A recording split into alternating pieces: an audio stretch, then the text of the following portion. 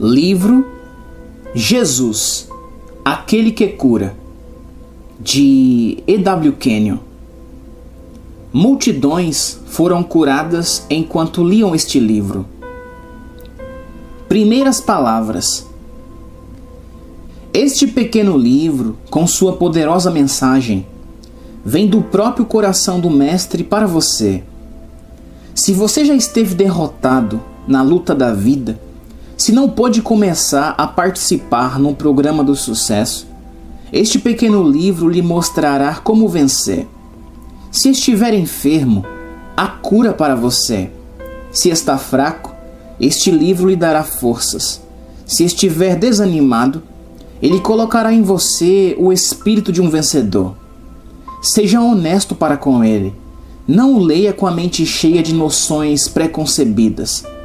Aborde-o com brandura e honestidade, permitindo que ele o coloque no topo da montanha que fica entre você e a vitória.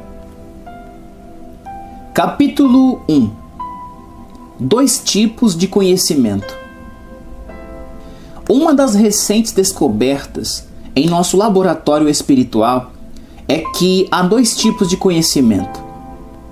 O conhecimento que nossas escolas, faculdades e universidades ensinam chegou até nós por intermédio dos cinco sentidos.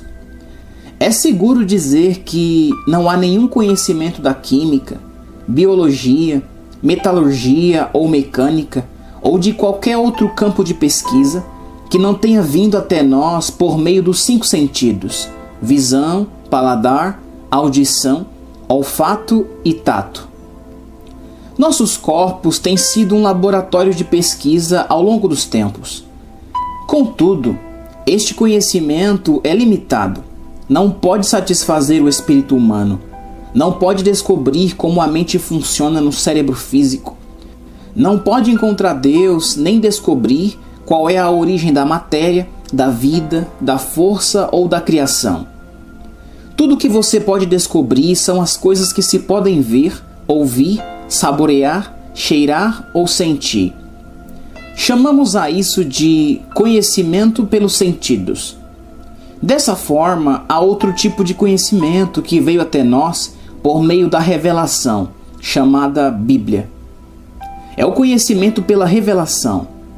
Ele nos leva ao contato com o Criador.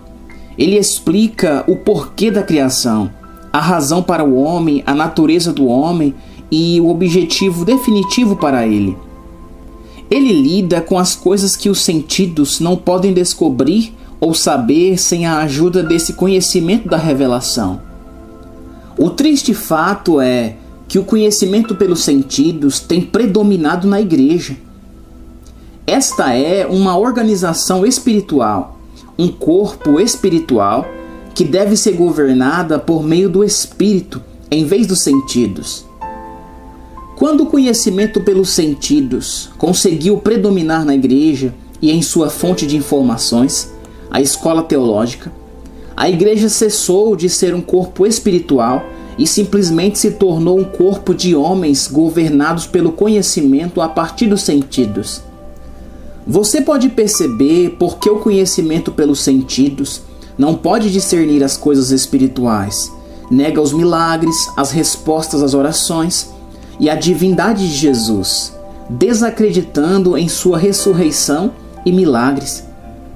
Deve-se esperar que o conhecimento pelos sentidos negue o elemento milagroso porque não pode explicá-lo ou entendê-lo. Sua principal busca tem sido por realidade. O espírito humano anseia por ela. Contudo, a realidade não pode ser encontrada nos sentidos. Ela é descoberta somente pelo espírito. O conhecimento pelos sentidos tem despertado homens chamados filósofos, que estão procurando a realidade.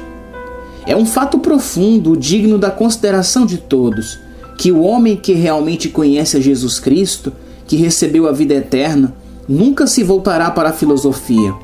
Se ele foi um filósofo, logo desiste disso, porque chegou à realidade em Cristo. Jesus disse: eu sou o caminho, a realidade e a vida. Jesus, então, é a resposta para toda a verdadeira filosofia. Se você deseja estudar esse assunto mais completamente, procure nosso livreto Os Dois Tipos de Conhecimento. Capítulo 2 Deus é um Deus de fé. Eu nunca soube o porquê da fé, até que li Hebreus 11:3. Pela fé, compreendemos que os mundos foram formados ou criados pela palavra de Deus, de forma que o que é visto não foi feito a partir das coisas que aparecem. Tradução nossa. Como no lampejo, entendi o segredo de Gênesis 1, que diz: No princípio Deus criou. Como ele criou? Pela palavra da fé. Ele disse: haja. Ele criou com palavras. Jesus conhecia o segredo das palavras. Ele curava os enfermos com palavras. Ele levantava os mortos com palavras. Ele acalmava o mar, dizendo: Cala-te, aquieta-te. Pedro curou os enfermos usando o nome de Jesus. Paulo expulsou demônios, dizendo: Em nome de Jesus Cristo eu te mando, retira-te dela. Atos 16, 18. Eles usavam palavras que foram geradas pela fé. Elas eram palavras de fé. Tornamos-nos filhos de Deus, participantes da sua própria natureza, quando agimos com base nas palavras. Tornamos-nos homens e mulheres de fé, usamos palavras de fé e produzimos resultados de fé. Fé na minha fé. A primeira vez que essas palavras chegaram até mim, elas me chocaram. Comecei a examinar a mim mesmo e a me fazer a seguinte pergunta: Por que é que as pessoas não têm fé na sua própria fé? É porque elas têm fé na minha fé. Recebo cartas de muitos países longínquos pedindo oração. Por quê? Porque as pessoas que pedem oração não têm confiança na sua própria fé por alguma razão, elas não creem em si mesmas, no que Cristo fez por elas ou no que elas são em Cristo. A razão para sua incredulidade é que elas não sabem quem são em Cristo. Elas têm o sentimento de que não são boas o suficiente, de que a sua fé não é forte o suficiente. Elas estão familiarizadas com todas as suas próprias falhas e fraquezas. Elas aceitam toda a condenação vinda do púlpito estão sempre querendo crer em alguma coisa contrária a si mesma, na sua indignidade, na sua incapacidade, na sua fraqueza e na sua falta de fé. Eis mais alguns fatos. O pai não tem filhos favoritos. Cada pessoa nascida em sua família tem a mesma redenção. Fomos redimidos da mão do inimigo. Satanás foi derrotado em nosso favor. Cada um de nós pode dizer: ele foi entregue por causa de minhas transgressões, e ele ressuscitou para minha justificação. Nós podemos confiantemente dizer: Ele me tirou da autoridade das trevas e me trasladou para o reino do Filho do seu amor, em quem tenho a minha redenção, a remissão das minhas transgressões. Essa é uma redenção pessoal e absoluta do domínio do adversário Cristo foi seu substituto. Quando Jesus anulou Satanás e o despojou de sua autoridade, foi você em Cristo que fez essa obra. Cristo agiu em seu lugar. Ele fez isso por você. Você pode dizer: em Cristo venci Satanás, despojei-o de sua autoridade, e quando Jesus ressuscitou dentre os mortos, eu fiz juntamente com ele. Você pode confiantemente dizer: Mas Deus, sendo rico em misericórdia, com seu grande amor com o qual me amou, mesmo quando estava morto em minhas transgressões e pecados, vivificou-me juntamente com Cristo. Pela graça fui salvo ou curado, e ressuscitou-me com Ele e me fez assentar consigo nos lugares celestiais em Cristo. É quando você toma o seu lugar e começa a assumir seus direitos e privilégios que Deus começa a responder você. Você tem a mesma vida eterna que Jesus tinha. Aquele que tem o filho tem a vida. 1 João 5,12. Você tem o filho, logo, você tem a vida. Agora você precisa dizer: Recebi Jesus Cristo como meu Salvador. Confessei-o como meu Senhor. Deus me deu a vida eterna, a sua própria natureza.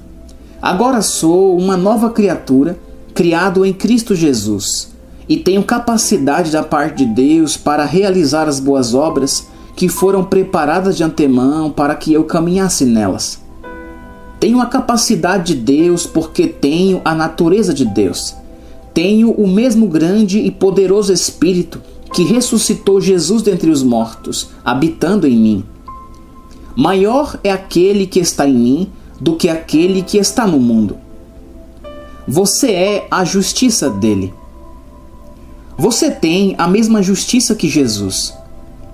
Aquele que não conheceu o pecado, Deus o fez pecado por nós para que nele fôssemos feitos justiça de Deus. 2 Coríntios 5:21. Você pode dizer: Tornei-me a justiça de Deus nele. Portanto, agora não há nenhuma condenação para mim, porque estou em Cristo Jesus. Essa justiça lhe dá o privilégio de permanecer na presença do Pai como se nunca tivesse cometido pecado. Você tem a sua natureza. Você é o próprio filho dele. Ele é seu pai. Você pode dizer: Ele me declarou justo. Ele me tornou justo. Sou a justiça de Deus em Cristo. Como filho, você tem o direito legal de usar o nome de Jesus. Ninguém tem um direito melhor de usar o nome de Jesus do que você. Toda autoridade está nesse nome. Agora diga comigo. Jesus declara que tudo o que eu pedir em seu nome, ele me dará. Assim, assumo ousadamente minha posição, imponho minhas mãos sobre aquela pessoa amada que está doente e digo: No nome de Jesus, doença, deixe este corpo. Demônio, deixe este corpo e vá embora para o abismo ao qual você pertence. Não ouse tocar nesta pessoa amada novamente. Cristo me disse que aqueles que creem devem impor as mãos sobre as pessoas enfermas e elas devem ficar saradas. Ele disse que em seu nome deveriam expulsar demônios. Foi ele quem me disse isso. Aceito assim como me foi dito e ajo acerca disso, porque assim ele me mandou fazer. Capítulo 3 o pai não tem filhos favoritos. Foi um grande consolo para o meu coração quando compreendi que o pai não tem filhos favoritos, que todos os seus filhos têm o seu próprio lugar em seu coração. Ele ama cada um deles assim como ama o Senhor Jesus. Jesus disse: Que o mundo possa saber que tu os amas, mesmo como me amas. Todos nós temos essa mesma redenção. A obra que ele realizou em Cristo destruiu absolutamente o poder do inimigo e agora redime todas as pessoas que aceitam Cristo como Salvador e o confessam como Senhor. Fomos redimidos das obras do adversário e de seu domínio sobre as nossas vidas. Todas elas têm a mesma justiça. Ninguém tem uma justiça melhor ou em maior medida do que o outro. A justiça vem por meio da nova criação. Quando nascemos de novo, recebemos a vida e a natureza de Deus Pai. A sua natureza nos torna justos. Ninguém tem mais justiça do que outrem. Todos os que recebem sua natureza vieram para a família e são reconhecidos como filhos e filhas do grande Deus Pai. Todos têm os mesmos direitos na família. Cada um pode ter um dom diferente, mas o dom não o torna mais querido diante do coração do Pai. Todos têm a mesma natureza de amor, o mesmo grande Espírito Santo que ressuscitou a Jesus dentre os mortos. Cada um tem direito ao mesmo tipo de comunhão com o Pai. Cada um tem o direito de usar o nome de Jesus e a autoridade investida nesse nome para livrar as pessoas do domínio de Satanás, para curar os enfermos e expulsar os demônios. O Pai não tem favoritos. Quanto mais próxima é sua comunhão com Ele, mais doce e abundante sua vida será. Capítulo 4 A Palavra Viva A questão da cura relaciona-se à questão da integridade da palavra. Muitos nunca reconheceram, mas é a palavra que cura hoje em dia. Deus em Cristo realizou uma redenção perfeita. Nessa redenção há uma cura perfeita para todo crente. Contudo, por causa da falta de conhecimento da palavra, crentes em toda parte têm estado doentes. Em Salmo 107, 20, ilustra perfeitamente isso. Enviou-lhes a sua palavra e os sarou. João capítulo 1, versículo 1 diz: No princípio era a palavra e a palavra estava com Deus, e a palavra era Deus.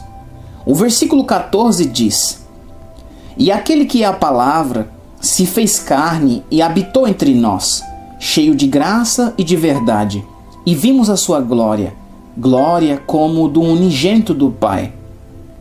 Essa é a palavra que ele enviou.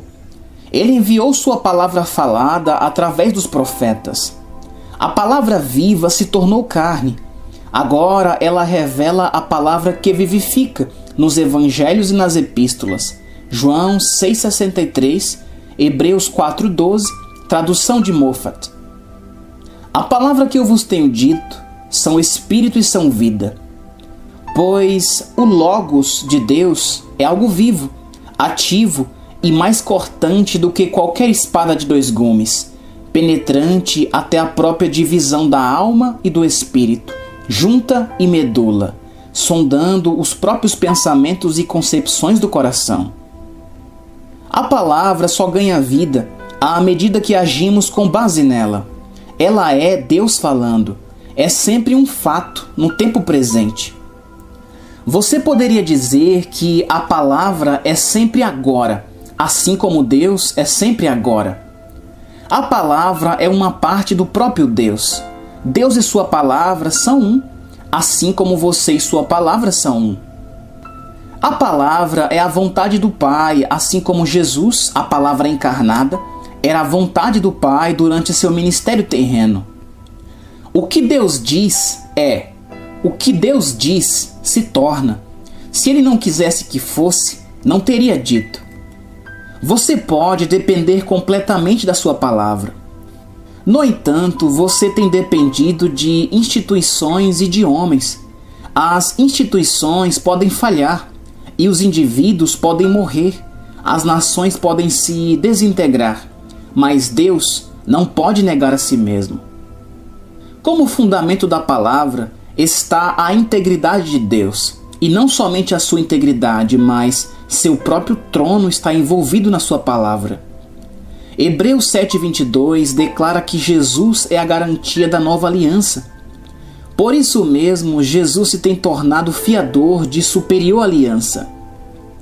Ele é o fundamento de toda palavra, desde Mateus até Apocalipse.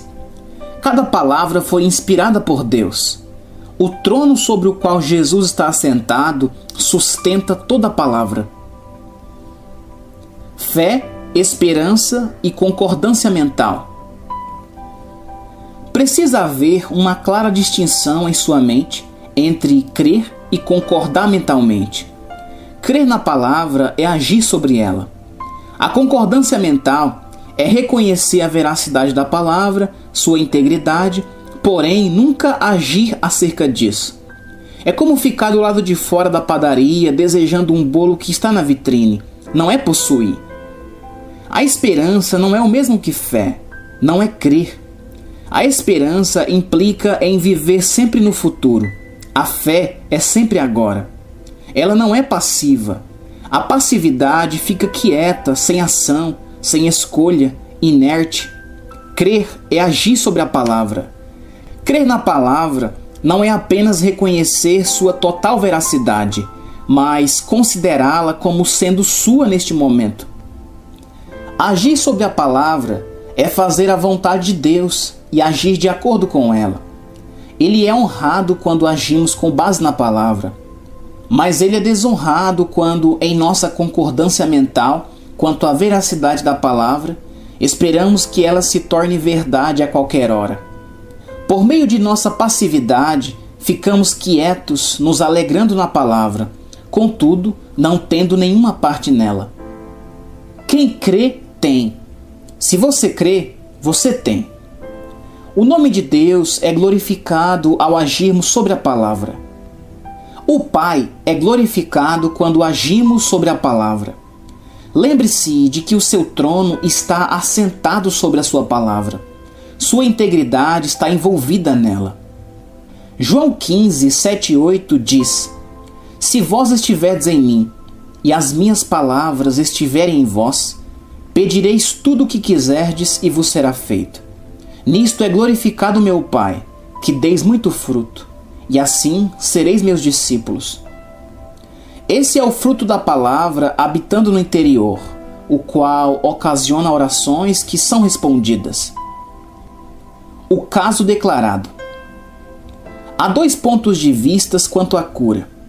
O mais comum é de que ela não está incluída na obra redentora de Cristo, mas que nos pertence se tivermos fé suficiente para reivindicá-la. Essa crença considera que a fé é um dom de Deus se Deus lhe der fé para sua cura, você será curado. Se ele não lhe der fé, não haverá necessidade de lutar por sua cura. Sua única esperança será o braço da carne. Esse ponto de vista é superficial. É resultado do conhecimento pelos sentidos.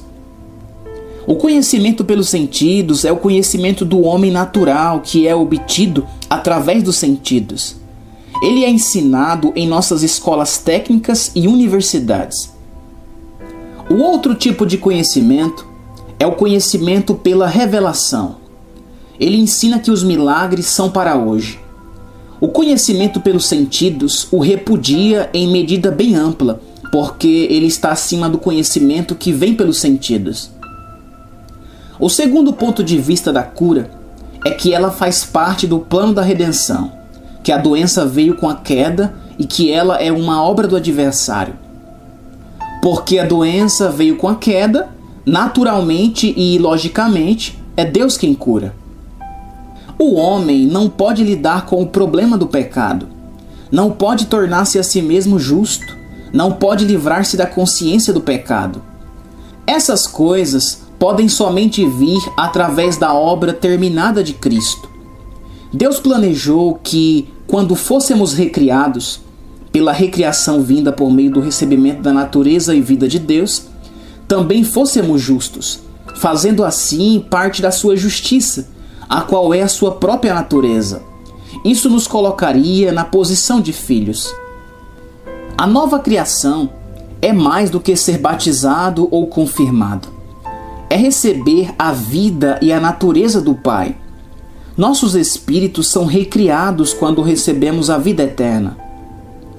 Isaías 53 apresenta o elemento chave da redenção. Jesus foi feito pecado com nossos pecados. Não somente ele foi feito pecado com os nossos pecados, mas também ficou doente com as nossas doenças. O homem natural é chamado de pecado 2 Coríntios 6, do 14 ao 16, diz: Não vos ponhais em julgo desigual com os incrédulos, porquanto que sociedade pode haver entre a justiça e a iniquidade? Ou que comunhão da luz com as trevas? O crente é chamado justiça, o incrédulo é chamado iniquidade. Ele não somente cometeu pecado, mas é também pecado. O crente é chamado de luz e o incrédulo de trevas. Assim como o pecador é pecado, o homem enfermo não é somente enfermo, mas é doença. O pecado está relacionado com o espírito. A doença é uma coisa espiritual revelada no corpo. E que concórdia há entre Cristo e Belial? O crente é chamado cristão porque Cristo faz parte do corpo. O ramo também faz parte da videira. Ele é tanto parte da videira como a própria videira é. 1 Coríntios 12,12 12 diz: Porque assim como o corpo é um e tem muitos membros, e todos os membros, sendo muitos, são um só corpo, assim é Cristo também. O homem fora de Cristo é chamado de Belial. Isso concorda perfeitamente em 1 João 3,10. Nisto são manifestos os filhos de Deus e os filhos do diabo. Quando Deus colocou nosso pecado sobre Jesus, ele nos colocou em Jesus. Ele colocou o homem de maneira integral em Jesus. Ele colocou seus pecados, suas fraquezas, suas enfermidades e doenças, sua união com o adversário sobre Jesus. Jesus se tornou pecado com o nosso pecado, se tornou enfermo com as nossas enfermidades. Isaías 53:10 diz: Todavia ao Senhor agradou o moê-lo, fazendo-o enfermar. Outra tradução diz: Agradou a Jeová esmagá-lo com doença. Ele o fez enfermar. O sexto versículo diz: Todos nós andamos desgarrados como ovelhas, cada um se desviava pelo seu caminho, mas o Senhor fez cair sobre ele a iniquidade de todos nós. Afligido em espírito, Jesus foi feito doente com as nossas doenças. Ele se tornou pecado com o nosso pecado. Esse foi o método de Deus lidar com o problema do pecado. Ele o resolveu. Não há mais nenhum problema de pecado, pois Cristo o aniquilou e satisfez as reivindicações da justiça para o homem. O problema real é o problema do pecador. Não há nenhum problema de doença. Há simplesmente o problema do crente chegar a saber qual é a sua herança em Cristo. Quando João Batista disse em João 1,29: Eis o Cordeiro de Deus que tira o pecado do mundo, ele estava informando publicamente que este homem que ele tinha batizado era o substituto para o pecado, o substituto para a enfermidade em favor da raça humana. O pecado e a enfermidade vieram da mesma origem. Satanás é o autor de ambos. Estou certo que é ordenação de Deus que o crente deva ficar tanto livre da doença como do pecado. Ele deve ficar tão livre do medo da doença como está da condenação do pecado. Deus não pode ver pecado na nova criação. Tampouco ele pode ver doença na nova criação. Tiago escreveu: Está alguém entre vós doente? Tiago 5,14. Não deve haver nenhum doente entre vocês, mas se houver algum doente, essa verdade indica o que deve fazer. Foi o plano do Pai que todo crente soubesse o que Pedro nos diz em 1 Pedro 2,24. Levando ele mesmo em seu corpo os nossos pecados sobre o madeiro, para que, mortos para os pecados, pudéssemos viver para a justiça e pelas suas feridas fostes sarados. Deus quer que saibamos que, quando colocou nossos pecados e doenças sobre Jesus e ele as levou embora, isso foi para que o pecado e a doença não tivesse mais domínio sobre nós. Ele quer que saibamos, em segundo lugar, que a doença e a enfermidade não devem fazer parte da família de Deus. Se pudesse haver alguma doença entre nós, isso seria por causa de um baixo estado de entendimento quanto aos nossos direitos e privilégio em nossa redenção. Seria devido a uma falta de conhecimento quanto ao fato de que Deus, quando colocou nossas doenças em Cristo, já resolveu este problema. Devemos estar tão livres do medo da enfermidade, assim como estamos livres da condenação do pecado. Ambos provém do adversário. Por meio do novo nascimento, os pecados são todos remidos.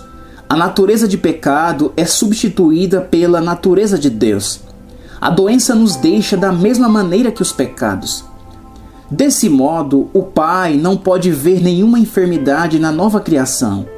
Ele a colocou toda em Cristo. Quando reconhecemos o fato de que nossa doença foi colocada sobre Cristo, de que ele levou nossas doenças em seu corpo na cruz, e de que por suas pisaduras somos curados, então chega ao fim o domínio da doença em nossas vidas. Mas esse conhecimento não terá valor algum até que o seu coração diga: Certamente ele levou minhas doenças e minhas dores, e por suas pisaduras sou curado, como se você fosse a única pessoa doente no mundo. A palavra é como Deus, ela é eterna. Ela não pode ser destruída. Ele vigia sobre ela para confirmá-la. A sua palavra trouxe o homem à existência. Agora, ele está se formando no homem através da palavra. A palavra faz parte dele mesmo e é ela que muda a conduta dos crentes e leva-os à harmonia com ele. Ele compartilha a si mesmo conosco. Ele nos dá sua natureza na nova criação. Ele se torna um conosco. Estamos unidos com ele no novo nascimento. Devemos desfrutar dessa união. Sua natureza nos dá uma nova capacidade uma nova visão e precisamos tirar proveito disso. Sua força é nossa, sua vida é nossa, sua saúde é nossa, sua habilidade é nossa. A doença é obra de Satanás. Quando você fala sobre ela para alguém, você o glorifica. Você ignora o fato de que Deus colocou essa doença sobre Jesus e que ele a lançou fora.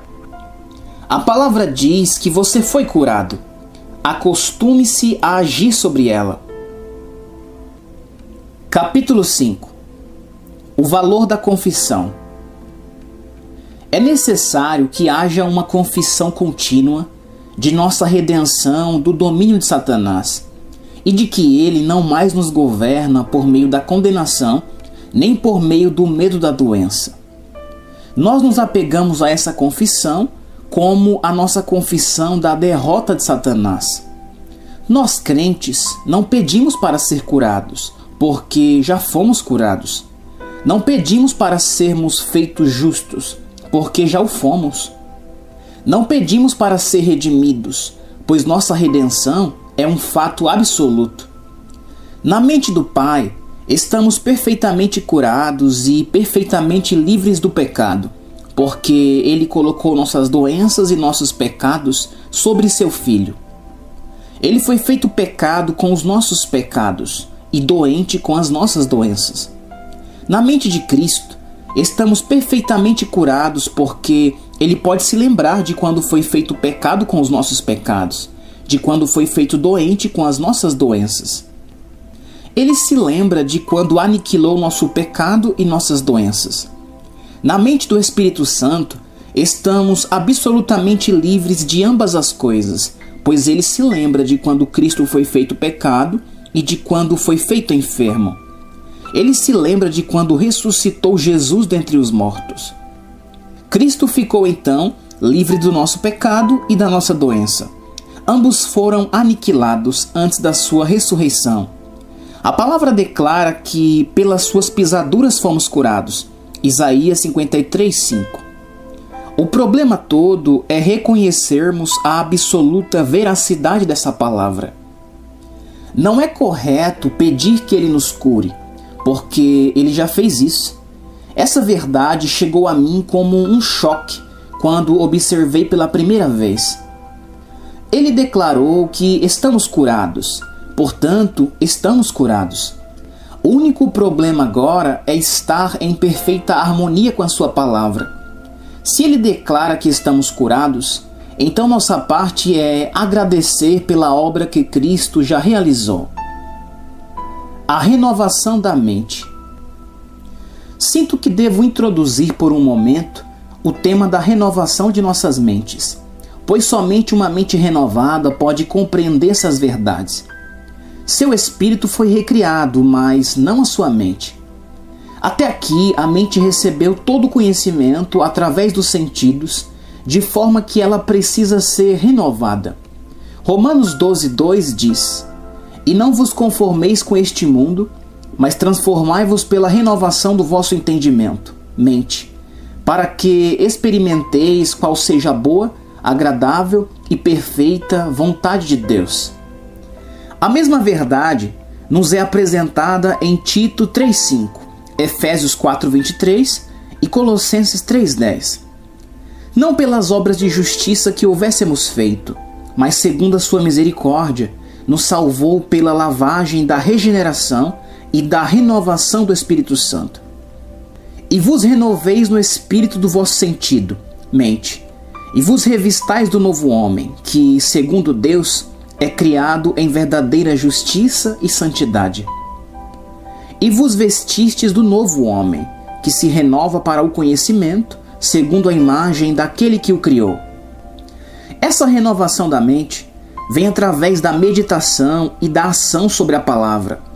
Logo que alguém nasce de novo, deve pedir ao Espírito Santo que entre e faça morada em seu corpo. Lucas 11:13 mostra a atitude do Pai quanto a isso. Quanto mais dará o Pai celestial o Espírito Santo a aqueles que lhe o pedirem? Tão certamente como lhe pedirmos, o Espírito Santo fará sua morada em nós. A mente renovada percebe que tudo o que precisa ser feito para sua cura é louvar ao Pai por ela. Ela diz: Minhas doenças foram colocadas em Cristo e ele as lançou fora. Estou curado. Agradeço ao Pai por isto estar feito. A dor ainda pode estar ali. A sensibilidade pode ainda se evidenciar, mas este é somente o testemunho dos sentidos. Recusamos-nos a ouvir o testemunho de nossos sentidos. Aceitamos a palavra de Deus e agimos sobre ela. Tão certo como Deus se assenta sobre o trono, ele confirmará essa palavra em nós. Não pedimos poder, pois Ele é quem é poder em nós. Não pedimos sabedoria, pois Cristo foi feito sabedoria para conosco. Não pedimos redenção, pois Ele é a nossa redenção. Não pedimos santificação, pois Ele é feito para nós santificação. Não pedimos justiça, porque Ele é feito para nós justiça. Essa vida de fé é a coisa mais bela no mundo nós saímos do velho domínio dos sentidos no qual temos vivido. Temos sempre vivido como Tomé. Ele disse em João 20, 25: Se eu não vir o sinal dos cravos em suas mãos, e não puser o dedo no lugar dos cravos, e não puser a minha mão no seu lado, de maneira nenhuma eu crerei. Jesus veio ao seu encontro e disse: Chega a tua mão e põe-na no meu lado. Não sejas incrédulos, mas crente. João 20, 25. Então Tomé exclamou: Senhor meu e Deus meu. Mas Jesus lhe disse: Por que me viste, Tomé? Creste? Bem-aventurados os que não viram e creram. João 20, 29. Não precisamos da evidência dos sentidos. Descansemos, pois, na palavra. Efésios 1,3 diz: Bendito Deus e Pai de nosso Senhor Jesus Cristo o qual nos abençoou com todas as bênçãos espirituais nos lugares celestiais em Cristo. Você está na família. Tudo que o pai tem pertence aos filhos. Você é um deles. Você foi abençoado. Cura para o mundo. Deus vai ao encontro do homem onde ele está. A maior parte das curas que foram realizadas pelos apóstolos e pela igreja primitiva ocorreu entre homens e mulheres que não tinham ainda se tornado cristãos. Eles eram pagãos ou judeus. A cura era o método de Deus fazer propaganda, de se revelar para a mente natural. Jesus foi uma intrusão dentro do domínio dos sentidos. A igreja, a nova criação, é uma invasão dentro do domínio dos sentidos. Contudo, Hoje em dia, homens que vivem segundo o conhecimento pelos sentidos invadiram a igreja e a levaram cativa. O domínio dos sentidos é o domínio do homem natural, isto é, do homem que crê somente no que pode ouvir, saborear, cheirar, sentir ou ver. A intrusão de Deus dentro desse domínio na pessoa de seu filho, como cabeça da igreja, foi uma invasão milagrosa Marcos 16, do 16 ao 21, nos evidencia isto. Quem crer e for batizado será salvo, mas quem não crer será condenado. E estes sinais seguirão aos que crerem. Nossa confissão nos aprisiona ou nos liberta? Uma forte confissão associada a uma ação correspondente na palavra traz Deus para a cena. Quando alguém mantém com firmeza sua confissão, mesmo quando os sentidos a contradizem, mostra que está estabelecido na palavra. Uma confissão inspirada por Satanás é sempre perigosa. Lembre-se de que foi ele quem trouxe essa doença e a colocou sobre você. Quando você reconhece a doença, é como assinar o recibo de um pacote que o correio expresso deixou para você. Daí, Satanás terá o recibo de sua doença. Você a terá aceito.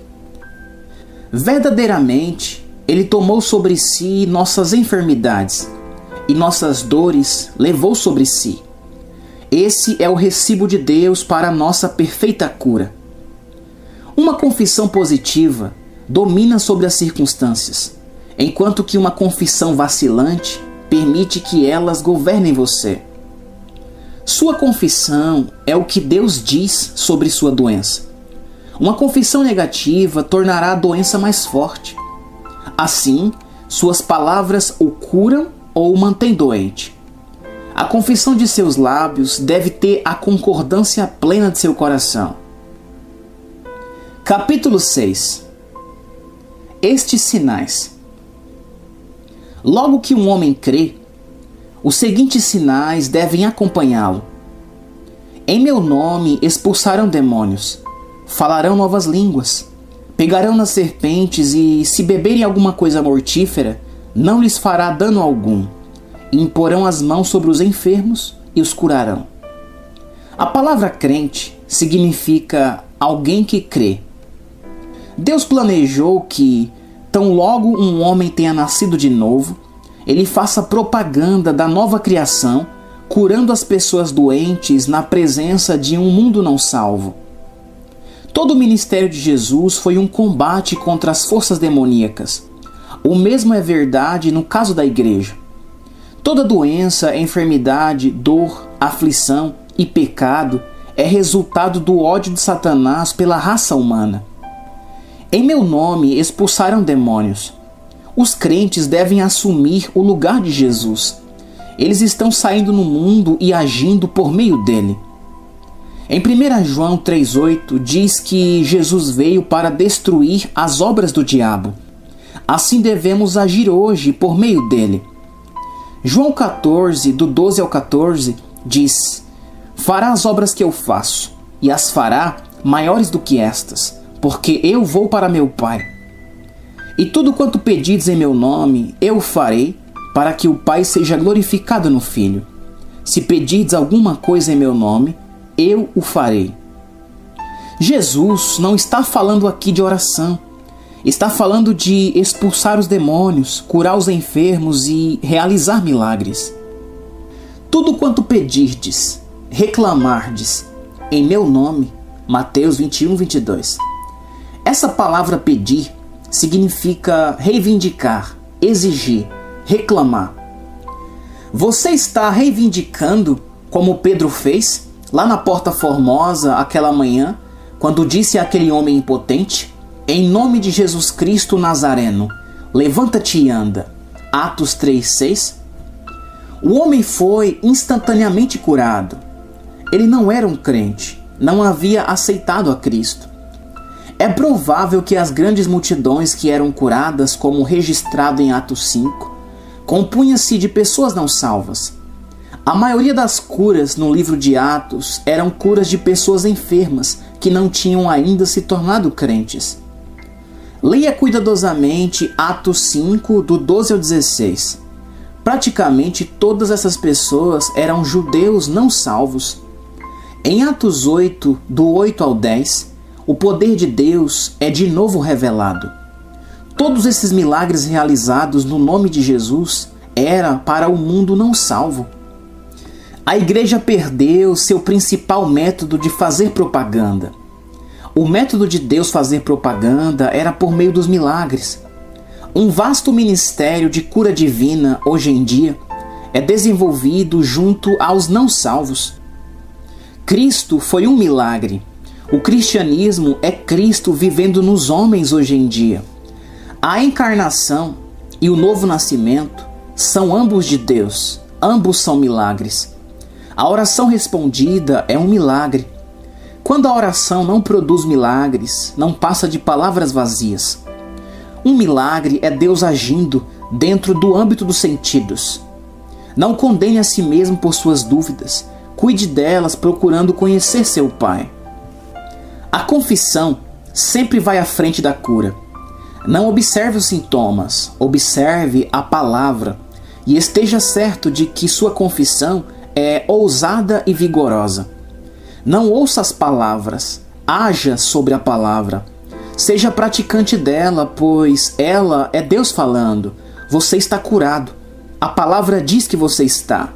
Não ouça os sentimentos. Dê a palavra o seu lugar. Deus não pode mentir. Capítulo 7 O método de Deus para curar crianças em Cristo. Está alguém entre vós doente? Não deveria haver nenhum doente entre vós, porque pelas suas feridas foste sarados. Contudo, não tem havido nenhum desenvolvimento ou crescimento espiritual, e vocês são ainda crianças em Cristo, de sorte que estão doentes. A cura para o homem com a mente carnal. Ser carnal significa ser dirigido pelos sentidos. O homem com a mente carnal é o crente que não chegou a um ponto em que a palavra o dirige e governa seu pensamento. Ele é chamado de criança em Cristo, uma pessoa com a mente carnal. Ele é governado pela carne, por aquilo que vê com seus olhos, pelo que sente, ouve, escuta, saboreia e cheira. Ele é um filho de Deus, porém dirigido pelo corpo e governado pelos sentidos. É uma criança em Cristo. Em 1 Coríntios 3, do 1 ao 3, diz: E eu, irmãos, não vos pude falar como a espirituais, isto é, a homens cujos espíritos conseguiram dominar sobre seu pensamento. Seu espírito é recriado, mas a mente não renovada ainda governa o espírito. Em outras palavras, não posso falar a vocês como a homens cujas mentes estão subordinadas à palavra de Deus. As mentes deles não foram renovadas. Eles ainda eram crianças. Hebreus 5, do 11 ao 14, diz assim: Do qual muito temos que dizer, de difícil interpretação, porquanto vos fizestes negligentes para ouvir. Quantos crentes se enquadram nessa admoestação? Eles não podem entender a palavra, porque qualquer que ainda se alimenta de leite não está experimentado na palavra da justiça, porque é menino. A expressão palavra da justiça é muito pouco entendida. Significa que essas pessoas nunca tiveram uma experiência quanto a viver a justiça. O que queremos dizer com isso?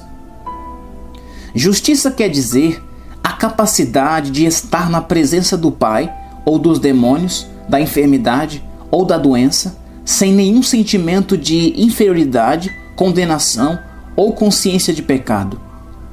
Aqueles que vivem a justiça ou que sabem pela palavra que são a justiça de Deus em Cristo são dominadores absolutos sobre as circunstâncias, demônios e doenças. 2 Coríntios 5,21 diz: Aquele que não conheceu o pecado, Deus o fez pecado por nós, para que nele fossemos feitos justiça de Deus. Você está tendo uma experiência na palavra da justiça você está descobrindo que é a palavra que cura. Esse ministério da palavra de Deus é a palavra da justiça. É a palavra da justiça que liberta os homens, leva-os para fora do domínio de Satanás para a liberdade dos filhos de Deus. Quão ousados eles se tornam, com qual poder eles falam.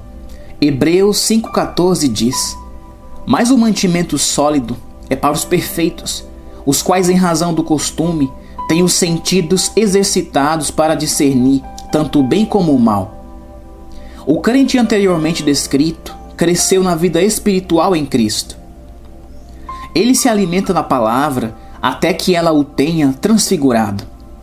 Tiago 5, do 14 ao 16, é o método de Deus para curar os crentes carnais ou os meninos em Cristo. Deus, em sua grande graça, diz: Está alguém entre vós doente? Chame os presbíteros da igreja, e estes façam oração sobre ele, ungindo-o com óleo em nome do Senhor. E a oração da fé salvará o enfermo, e o Senhor o levantará. E se houver cometido pecados, ser-lhe-ão perdoados. Confessai, pois, os vossos pecados uns aos outros, e orai uns pelos outros, para serdes curados. Muito pode, por sua eficácia, a súplica do justo. Revista atualizada. Note bem, cuidadosamente esses fatos.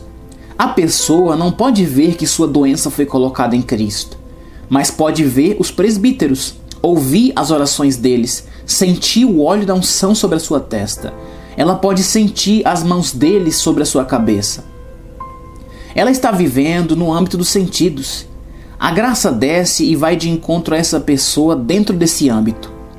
Se ela tivesse se aproveitado de seus privilégios, poderia ter agido sobre 1 João 1,9 que diz: Se confessarmos os nossos pecados, Ele é fiel e justo para nos perdoar os pecados e nos purificar de toda injustiça. Esse versículo é para o cristão.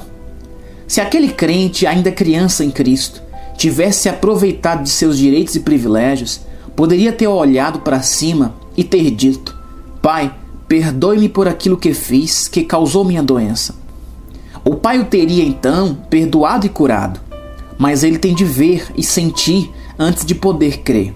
Ele pertence à classe de Tomé. Quando eu vi, crerei.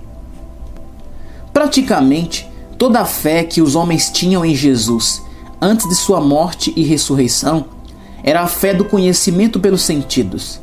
Eles criam nas coisas que viam e ouviam. Eles não podiam crer na ressurreição, pois nunca tinham visto uma.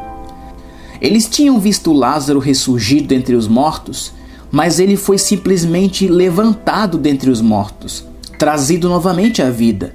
Ele não tinha sido ressuscitado, pois ele morreu novamente depois disso. Ó, oh, a graça de nosso Senhor Jesus Cristo, ela vem até o nosso nível e nos encontra na situação em que não podemos aparentemente agir sobre a palavra, porque ainda somos governados pelos sentidos. Capítulo 8 A cura na redenção. Já consideramos a cura que há no nome de Jesus para o mundo. Já consideramos a cura para os crentes cuja mente é carnal por meio da oração feita pelos presbíteros. Examinemos agora a cura para o homem que goza da plenitude de seus privilégios em Cristo. Isaías 53 é uma antivisão do ministério público de Jesus e de seu sacrifício substitutivo. Essa era antes uma profecia velada, mas agora é revelada por meio da revelação paulina como pertencendo a nós. A satisfação que há no amor ele era desprezado e o mais rejeitado entre os homens, homem de dores e que sabe o que é padecer. Isaías 53:3. Ele era uma raiz de um solo seco. Contudo, era precioso para o Pai, embora fosse condenado pelo mundo. Como um de quem os homens escondem o rosto, era desprezado, e dele não fizemos caso. Certamente ele tomou sobre si as nossas enfermidades e as nossas dores levou sobre si. E nós o reputávamos por aflito, ferido de Deus e oprimido.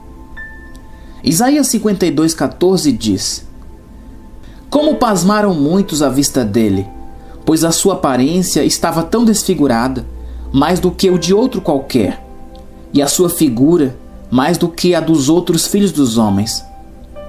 Na versão da Bíblia de referências cruzadas, se lê: Os homens ficaram tão assombrados com relação a ele, pois sua aparência estava tão deformada, como se não fosse mais a de um homem, e a sua figura não parecia como a de um ser humano.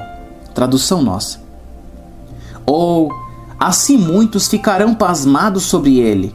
Seu aspecto estava tão desfigurado, não como a de um homem, e sua forma não como os filhos dos homens. Sua aparência não era mais a de um homem, e a sua figura não mais se parecia com a de um homem. Ele se tornou pecado com o nosso pecado. Ele estava sob o domínio de Satanás. Essa é a descrição do Espírito de Jesus, não de seu corpo. Ele foi feito doente com nossas doenças. E quando aquelas doenças vieram sobre o seu precioso espírito, ele não parecia mais um homem. O coração não pode aceitar isso. A razão emudece na presença de afirmações como esta. Ele estava aflito, ferido de Deus e oprimido. Foi Deus quem colocou nossas doenças sobre ele. A justiça exigia uma retribuição por nossas ofensas. Ele foi ferido pelas nossas transgressões e moído pelas nossas iniquidades. O castigo que nos traz a paz estava sobre ele, e pelas suas pisaduras fomos sarados. A doença é algo espiritual. Agora você pode constatar este fato. A doença foi curada espiritualmente. Deus não tratou da doença fisicamente. A doença hoje é algo espiritual. Descobri que quando posso provar através da palavra que nossas doenças foram colocadas sobre Jesus e o homem enfermo aceita esse fato, ele é curado instantaneamente. Enquanto pensarmos que a doença é puramente física, não obteremos nossa libertação. Mas quando sabemos que ela é espiritual e que precisa ser curada pela palavra de Deus, pois você lembra que ele disse: enviou a sua palavra e o sarou, então a cura se torna uma realidade. Ele foi ferido pelas nossas transgressões. Isso era algo espiritual. Ele foi moído pelas nossas iniquidades. Esta era uma machucadura espiritual. As feridas que os soldados fizeram não levaram pecado, pois se tivessem levado, o pecado seria uma coisa física, uma coisa do conhecimento pelos sentidos. A justiça humana lida somente com as evidências dos sentidos, não com o que um homem pensa, mas com o que ele diz ou faz. Ele suportou sofrimentos que os sentidos não podem entender. Ficaram mudos e impotentes na presença dessa grande tragédia espiritual que ocorreu no Calvário. O castigo que nos traz a paz estava sobre ele, e pelas suas pisaduras fomos sarados. Não eram as feridas físicas feitas pelo oficial romano, eram os vergões das chicotadas que a justiça colocou sobre o seu espírito. Todos nós andamos desgarrados como ovelhas. Cada um se desviava pelo seu caminho, mas o Senhor fez cair sobre ele a iniquidade de todos nós. Isaías 53, 6. O versículo 10 diz: Todavia ao Senhor agradou o moê-lo, fazendo-o enfermar. O amor podia ver a humanidade redimida, a fé podia ver uma nova criação. Ele o fez enfermar com nossas enfermidades. Nós não precisamos estar doentes. Somente a ignorância quanto aos nossos direitos ou a recusa a agir sobre a palavra pode nos manter doentes. Ele o tornou pecado com nossos pecados. Não precisamos permanecer no pecado. Ele se tornou pecado para que pudéssemos tornar-nos justos. Ele foi ao inferno para que pudéssemos ir para o céu. Ele foi feito fraco para que pudéssemos ser feitos fortes. Ele tomou nosso lugar, supriu toda necessidade, satisfez todas as reivindicações da justiça e nos libertou. Se este é o caso, a ocorrência de doença no crente é algo errado, bem como a de fraqueza e todas as outras coisas que Satanás trouxe sobre os homens, porque Jesus sofreu para pôr tudo isso de lado alguns fatos sobre a vida sobrenatural. Na mente do Pai, nós somos super-homens, somos conquistadores, somos vencedores. Em 1 João 5, do 4 ao 5, está escrito: Porque todo o que é nascido de Deus vence o mundo. E esta é a vitória que vence o mundo, a nossa fé. Quem é que vence o mundo senão aquele que crê que Jesus é o Filho de Deus. Foi nossa fé que nos trouxe para a família dos vencedores. Quem é que vence o mundo senão aquele que crê que Jesus é o Filho de Deus? Cremos que Jesus é o Filho de Deus, que ele morreu por nossos pecados de acordo com as Escrituras e que ele ressuscitou para a nossa justificação. Cremos que no momento em que o recebemos como nosso Salvador e o confessamos como nosso Senhor, Deus nos recebe como seus filhos e nos dá vida eterna.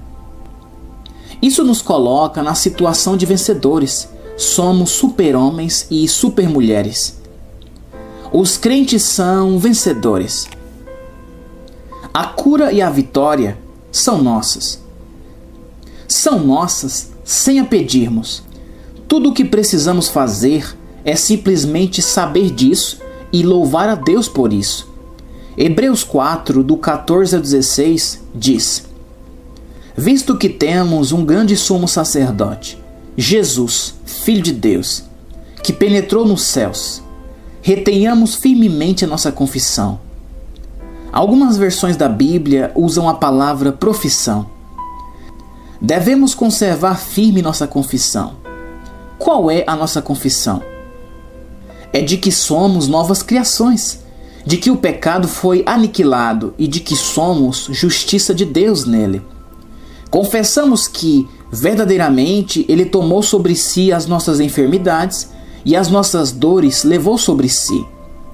Nossa confissão é de que Ele foi ferido por Deus e oprimido com nossas enfermidades e fraquezas, e que agora, pelas Suas pisaduras, estamos completamente curados. O pecado e a doença foram aniquilados e, no nome de Jesus, temos o domínio sobre Satanás e as obras de suas mãos. Em seu nome expulsamos demônios, impomos as mãos sobre os enfermos e eles são realmente curados. Se nós podemos expulsar os demônios, podemos também ordenar ao demônio chamado doença que deixe nossos corpos, pois a doença foi trazida ali por um demônio e está sendo desenvolvida por um demônio. Dizemos: No nome de Jesus, demônio, deixe este corpo. E aquele demônio fica obrigado, no nome de Jesus, a obedecer. Quando Jesus ressurgiu dentre os mortos, ele o fez porque nós, juntamente com ele, havíamos vencido Satanás, como diz em Colossenses 2,15. E despojando os principados e potestades, os expôs publicamente, e deles triunfou em si mesmo. O triunfo de Jesus é o nosso triunfo. A vitória de Jesus é a nossa vitória. Ele não fez nada para si mesmo, tudo foi para nós. Hoje somos mais que vencedores através daquele que nos amou. Não devemos nunca falar sobre nossas doenças. Quando contamos sobre nossas dificuldades para as pessoas, é sempre para conquistar sua simpatia. Essa dificuldade, porém, veio do adversário. Quando contamos nossas dificuldades, estamos dando testemunho da capacidade que Satanás tem de conduzir-nos até elas. Quando falamos sobre nossas doenças, estamos glorificando ao adversário que teve a capacidade de colocar doenças sobre nós. Quando confessamos nossa falta de força ou de poder, confessamos que Satanás de tal maneira nos cegou que não podemos gozar de nossos direitos e privilégios. Salmo 27:1 diz: o Senhor é a minha luz e a minha salvação. A quem temerei? O Senhor é a força da minha vida. De quem me recearei? Deus o fez sabedoria para conosco. Fez dele nossa redenção para conosco.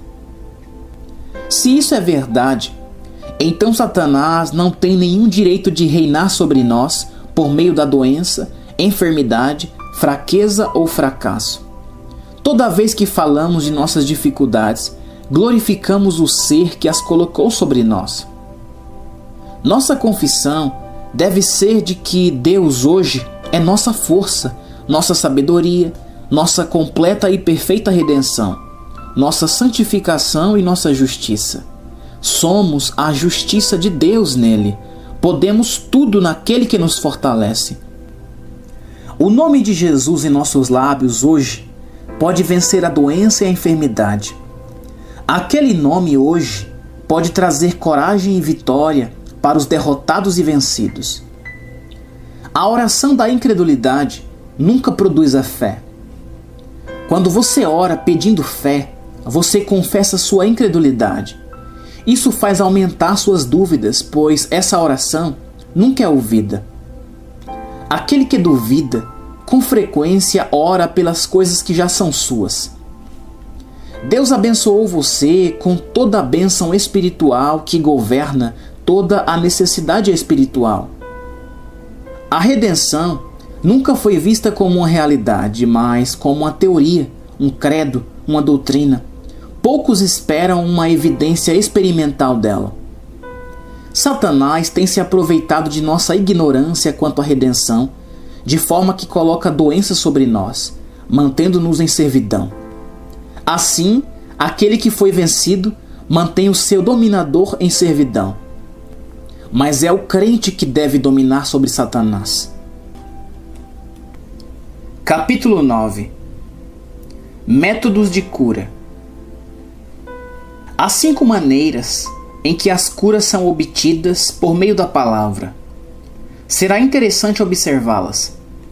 No capítulo anterior, chamei sua atenção para o fato de que a igreja primitiva usava a cura como um meio de fazer propaganda do evangelho, bem como de abençoar o povo.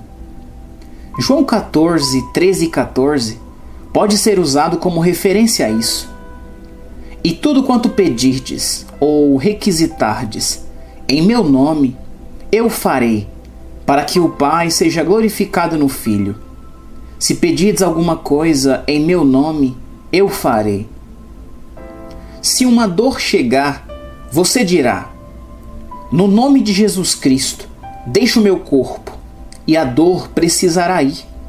Você é senhor sobre o seu próprio corpo, você o governa. Você tem o direito à liberdade da dor ou da doença. Nesse nome, você ordena que ela saia. Você não está exigindo isso do Pai, porque foi o Pai que lhe deu autoridade sobre estas forças demoníacas. Você pode usar o nome para quebrar o poder do adversário sobre os não salvos e tornar fácil para eles aceitarem a Cristo. Nesse nome, aqueles que creem imporão as mãos sobre os enfermos e eles ficarão curados.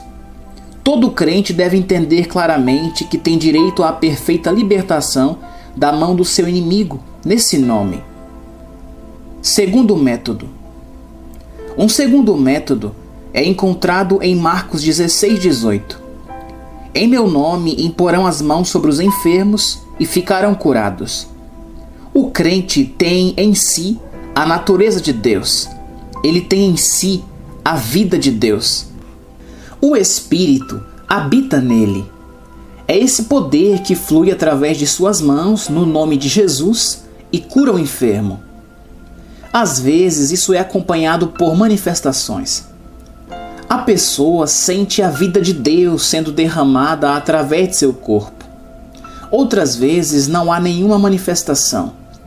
Não faz nenhuma diferença se há ou não qualquer testemunho dos sentidos Aqueles que creem imporão as mãos sobre os enfermos e eles ficarão curados.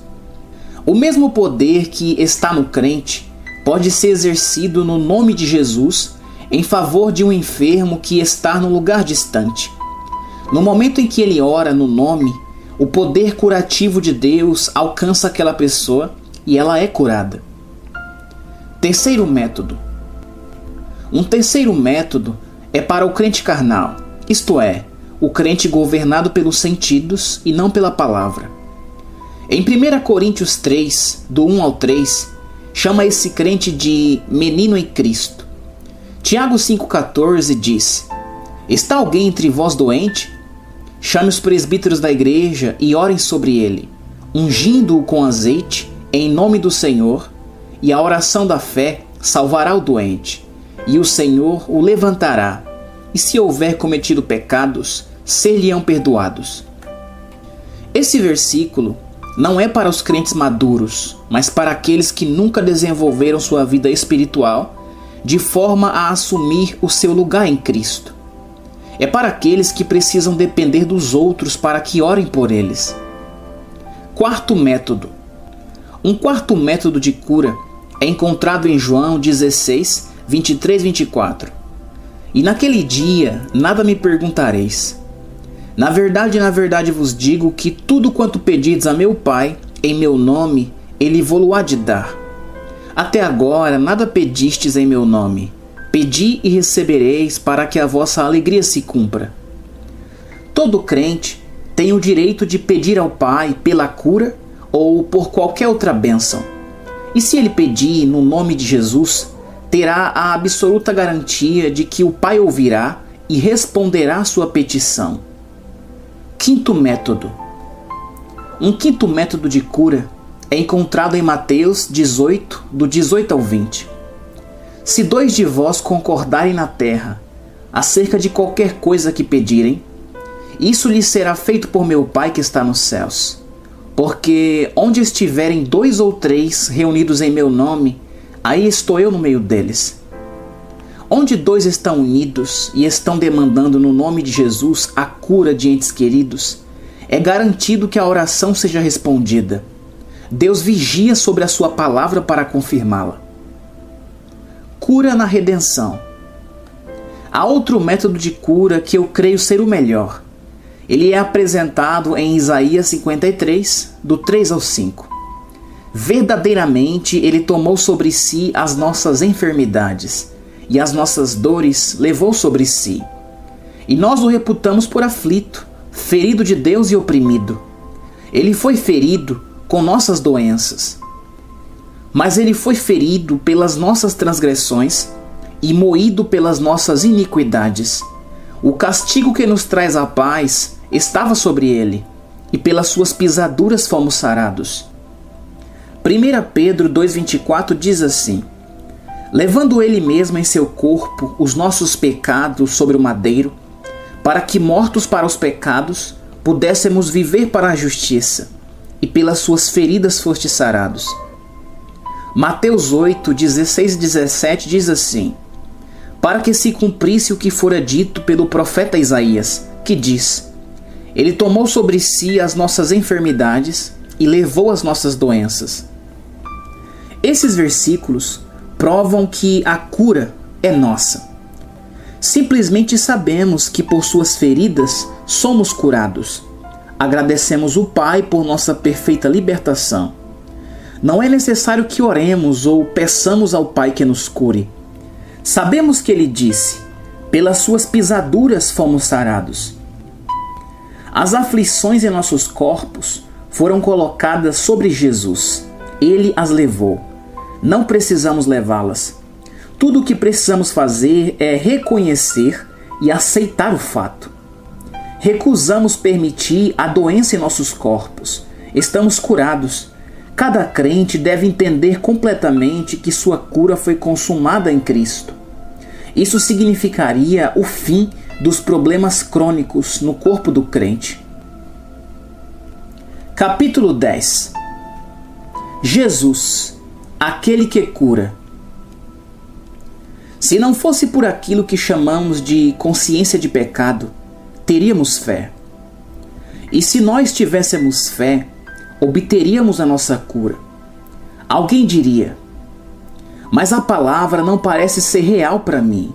Eu a leio e então digo: Por suas feridas sou curado. No entanto, em minha mente ouço outra voz dizendo: Mas a dor ainda está aí. Descubro então que estou continuamente dando dois testemunhos, um com os meus lábios e outro com o meu intelecto. Devemos compreender plenamente que não importa qual a posição que alguém detenha no céu, se não tiver fé, não lhe adiantará nada. Não importa quais são os privilégios de um homem, se a mão da fé estiver paralisada, ele não poderá se apoderar deles. Enquanto ele for governado pela consciência de pecado, não terá nenhum senso de redenção. Ele estará sob condenação. Satanás o governará. Enquanto Satanás governa, a fé fica retraída e pouco desenvolvida. Ao longo de toda a revelação paulina, desde Romanos até Hebreus, uma redenção completa é ensinada. Há uma perfeita redenção. Satanás foi vencido. Hebreus 2,14 diz: E visto como os filhos participam da carne e do sangue, também ele participou das mesmas coisas, para que, pela morte, aniquilasse o que tinha o império da morte, isto é, o diabo. Ele está despojado de sua autoridade. Em Apocalipse 1,18, Jesus diz triunfalmente: Eu estive morto, mas eis que estou vivo para todo sempre. Amém. E tenho as chaves da morte e do inferno. Satanás tornou-se nada. Sua habilidade foi paralisada, como diz Colossenses 2,15. E, despojando os principados e potestades, o expôs publicamente e deles triunfou em si mesmo. Assim, Satanás não tem mais nenhum domínio sobre nós. Romanos 6,14 diz: O pecado não terá domínio sobre vós. Se a redenção não nos liberta da consciência do pecado, ela não é melhor que o judaísmo. Se ela não pode nos libertar agora da condenação, Deus e Cristo falharam. Satanás se tornou o dominador. Se a consciência de pecado domina, agir sobre a palavra fica impossível. A fé se torna em uma flor seca em que a consciência de pecado domina. O problema da fé, então, é livrar-se da consciência de pecado. A palavra é a única cura. Ela declara que nós estamos redimidos. Está escrito em Efésios 1:7. Em quem temos a redenção pelo seu sangue, a remissão das ofensas. Se fomos redimidos, o domínio de Satanás está então quebrado e estamos livres. Não somente uma redenção perfeita foi realizada, mas foi feita uma provisão para uma perfeita recriação. 2 Coríntios 5, 17 e 18 diz: Assim que, se alguém está em Cristo, nova criatura é. As coisas velhas já passaram, eis que tudo se fez novo. E tudo isso provém de Deus, que nos reconciliou consigo mesmo por Jesus Cristo e nos deu o ministério da reconciliação há uma completa recriação e uma completa reconciliação. Se Deus nos recriou, não estamos mais debaixo da escravidão das coisas da velha criação. Se um homem foi recriado, é pela própria obra de Deus. Ele o fez através do Espírito Santo e da sua própria palavra. Essa nova criação é efetuada pela comunicação da própria natureza de Deus. 2 Pedro 1,4 diz que nos tornamos participantes da natureza divina. Somos, na verdade, nascidos de cima. A velha natureza de pecado foi embora e uma nova natureza, que é livre de condenação, tomou seu lugar. Em Romanos 8, 1 e 33 diz: Portanto, agora nenhuma condenação há para os que estão em Cristo Jesus fomos libertados da lei do pecado e da morte. Quem tentará acusação contra os escolhidos de Deus? Quem os condenará? Deus nos justificou ou Deus nos declarou justos. A palavra justificar significa tornar justo ou reto. A justiça ou a retidão é a capacidade de estar na presença do Pai sem sentimento de culpa pecado ou inferioridade. Ficamos ali como se o pecado nunca tivesse existido. Se a redenção não significa isso, se a nova criação não nos dá isso, Deus então terá falhado. A nova criação precisa ser tão livre de pecado quanto Adão era antes de ter cometido o pecado. Caso contrário, Deus teria falhado em sua obra redentora. Alguém poderia dizer: e quanto a 1 João 1,6 que diz: Se dissermos que não temos pecado, enganamos-nos a nós mesmos e não há verdade em nós. Ele está falando de uma comunhão quebrada. Se um homem diz que tem comunhão com o Pai, quando na verdade está vivendo sob condenação, está contando uma mentira. Se dissermos que temos comunhão com Ele e andarmos em trevas, mentimos e não praticamos a verdade. Todo homem que está vivendo uma comunhão quebrada está andando em trevas, como diz 1 João 1,9. Se confessarmos os nossos pecados, Ele é fiel e justo para nos perdoar os pecados e nos purificar de toda injustiça. Se dissermos que não pecamos quando estamos vivendo fora da comunhão, estamos dizendo uma inverdade. Se alguém pecar, temos um advogado para com o Pai, Jesus Cristo, o justo. Efésios 2,10 diz: Somos feitura sua. Ele não somente nos fez novas criações, mas ele nos fez justos. Está em Romanos 3,26: Para que ele seja justo e justificador daquele que tem fé em Jesus. Isso declara que ele se tornou a justiça do homem que tem fé em Jesus como Salvador. Se Deus se tornou nossa justiça, temos uma posição legal aceitável em Sua presença. Em 1 Coríntios 1,30 nos diz que Ele foi feito para nós justiça. Mas vós sois dele, em Jesus Cristo, o qual para nós foi feito por Deus sabedoria e justiça e santificação e redenção. Assim temos Deus como nossa justiça e Jesus como nossa justiça. Romanos 4,25 diz: Ele foi entregue por causa das nossas transgressões e ressuscitou porque nós fomos encontrados justos diante dele. Tradução nossa. Romanos 5,1 diz: Justificados, pois, mediante a fé, temos paz com Deus por meio de nosso Senhor Jesus Cristo. 2 Coríntios 5,21 diz: Aquele que não conheceu pecado, o fez pecado por nós, para que nele fôssemos feitos justiça de Deus.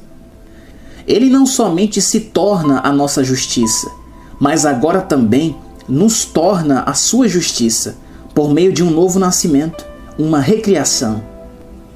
Estamos diante dele reconciliados, sem condenação e em comunhão com ele. Se a Bíblia significa alguma coisa, significa exatamente o que diz. O crente tem o direito legal de estar na presença do Pai, isento de condenação. Se ele pode fazer isto, então agir sobre a palavra é possível.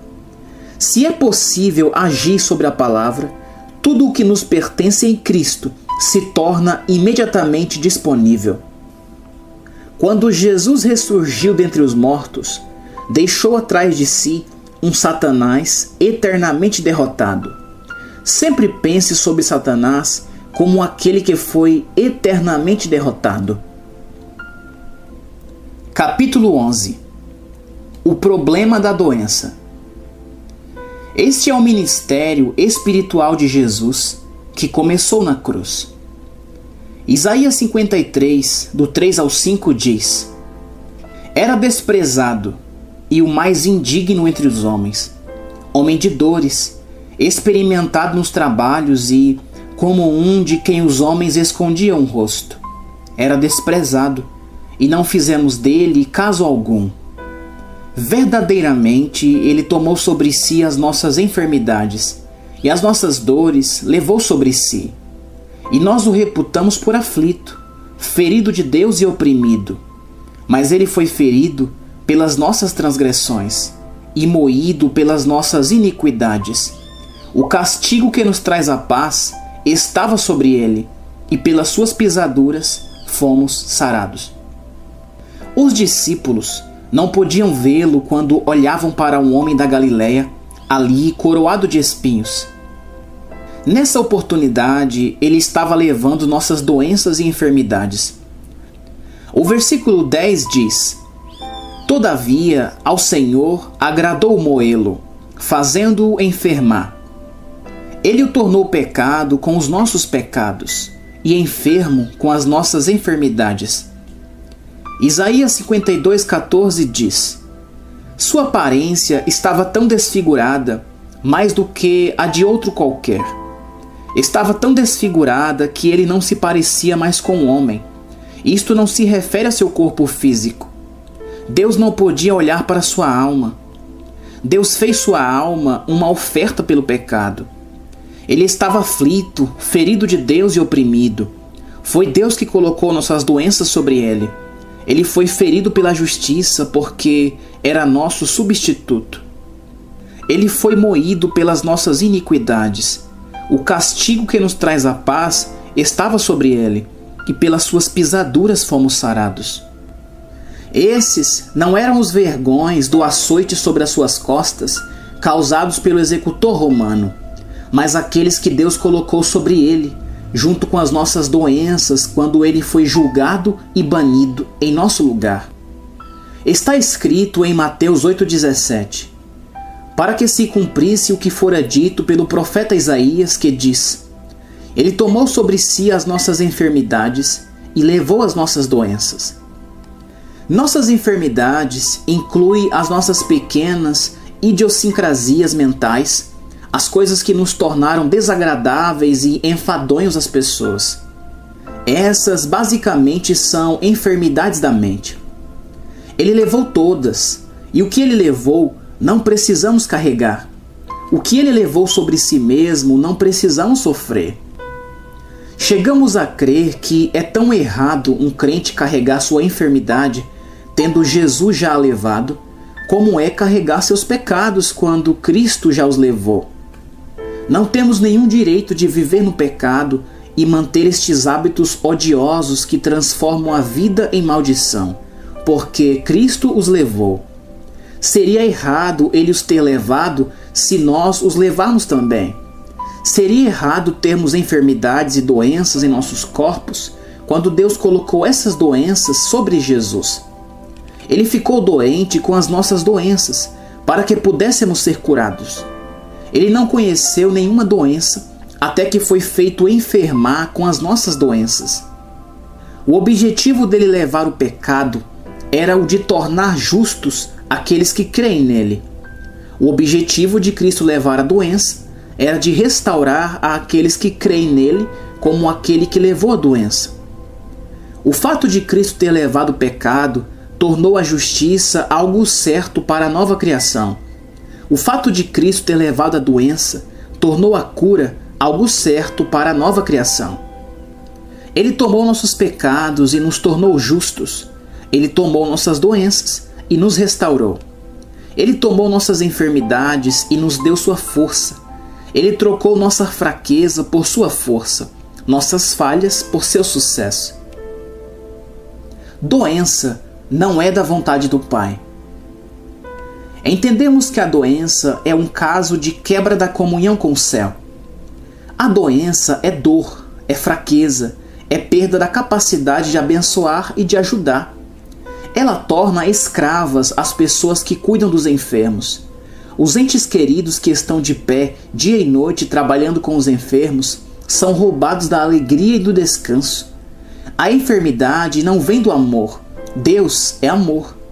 A doença é uma ladra. Ela rouba a saúde, rouba a felicidade, rouba o dinheiro que precisamos para outras coisas. A doença é um inimigo. Olhe para o que ela roubou daquele paciente de tuberculose. Ela veio sobre ele no meio da mocidade, tornou-o um fardo para sua família, encheu-o com ansiedade e dúvida, medo e dor. Ela o roubou de sua fé, Veja o que a doença fez para aquela mulher.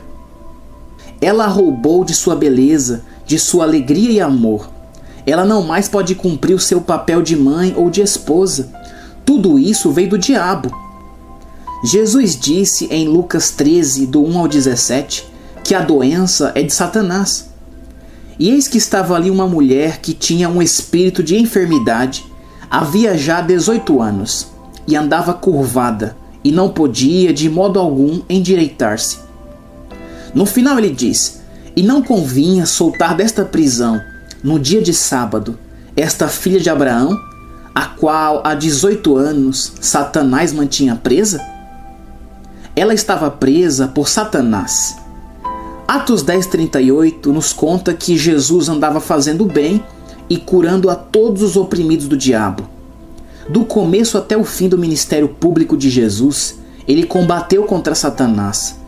Sua batalha não era contra os homens, mas inteiramente contra os demônios que habitavam nos homens. Foi o diabo que usou o sumo sacerdócio para provocar a contenda que finalmente pregou Jesus na cruz. Não diga a ninguém que a doença é a vontade do amor. Ela é a vontade do ódio, é a vontade de Satanás. Se a doença fosse a vontade do amor, o amor se transformaria em ódio. Se a doença fosse a vontade de Deus, o céu ficaria cheio de doenças e enfermidades. Jesus era a vontade expressa do Pai. Ele andava curando os enfermos. A doença e a enfermidade nunca são da vontade do Pai. Crer que são é ser iludido pelo adversário. Se a cura não estivesse no plano da redenção, não estaria no capítulo que fala da substituição, Isaías 53. Se a cura não estivesse na redenção, o Pai não a teria ensinado na sua palavra.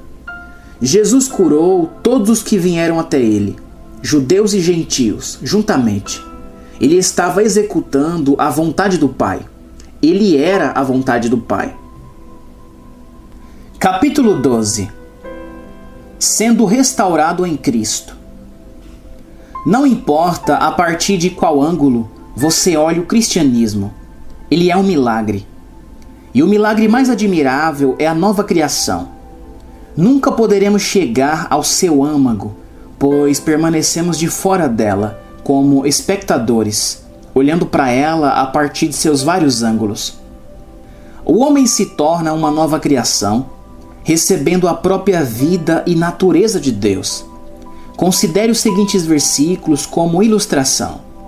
Colossenses 2,13 E quando vós estáveis mortos nos pecados, e na circuncisão da vossa carne, vos vivificou juntamente com ele, perdoando-vos todas as ofensas.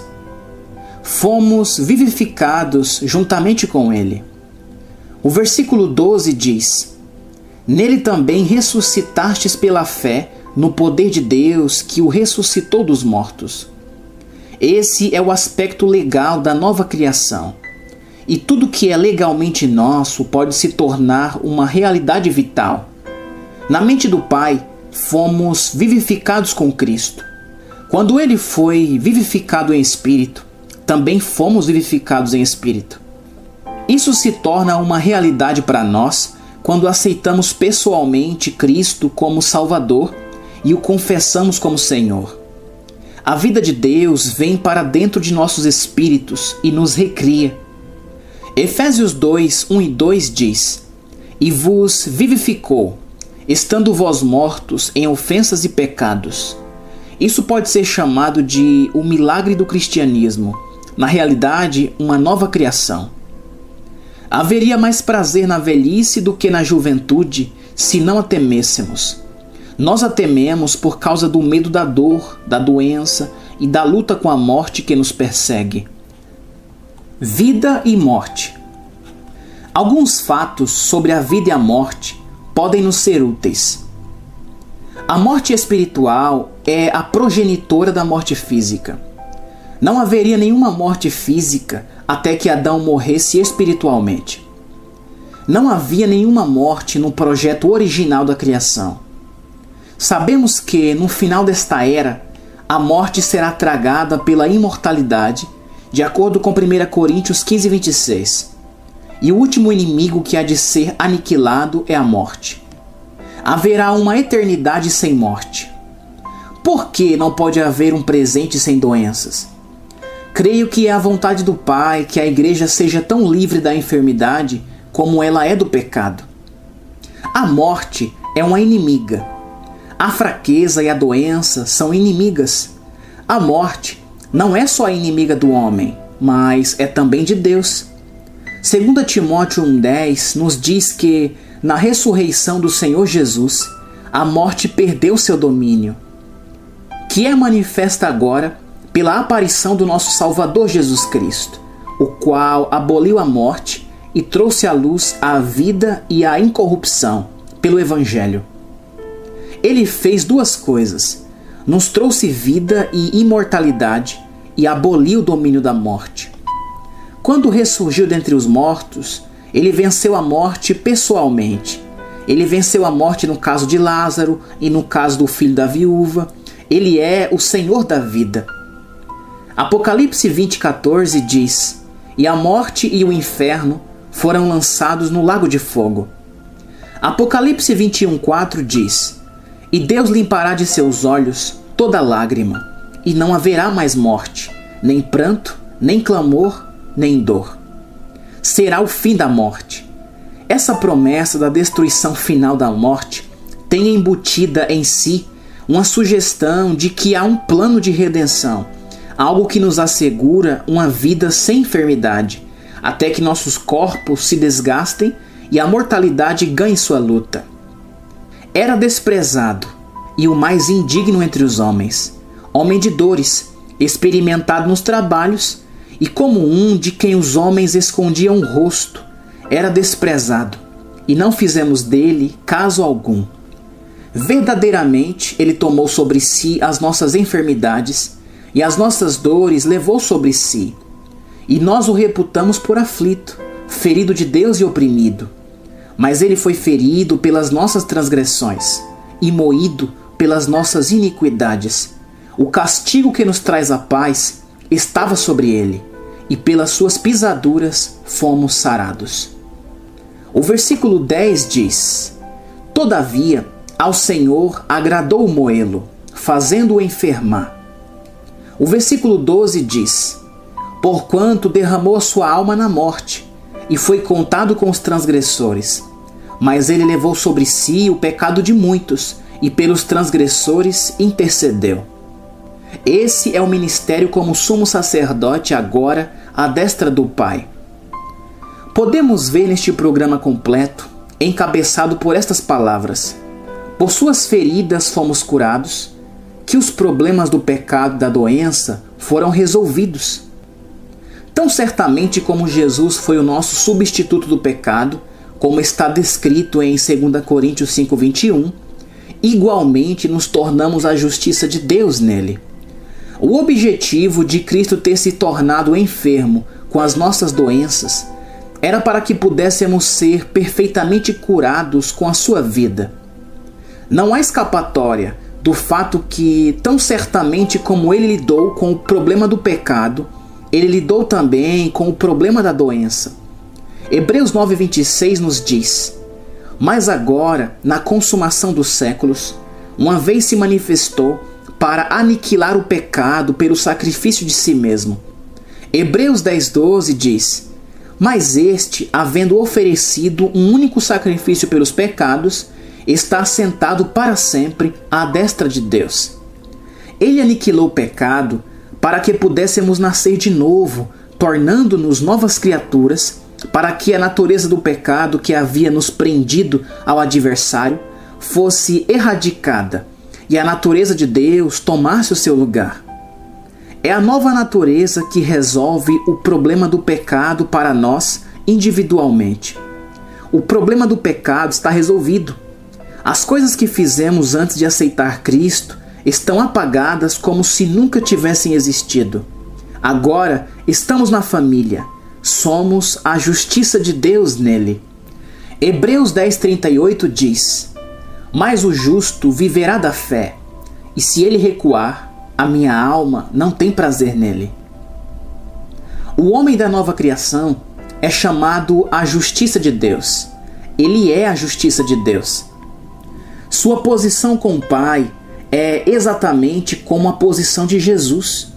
Mas se ele pecar, tem um advogado com o Pai, Jesus Cristo, o justo.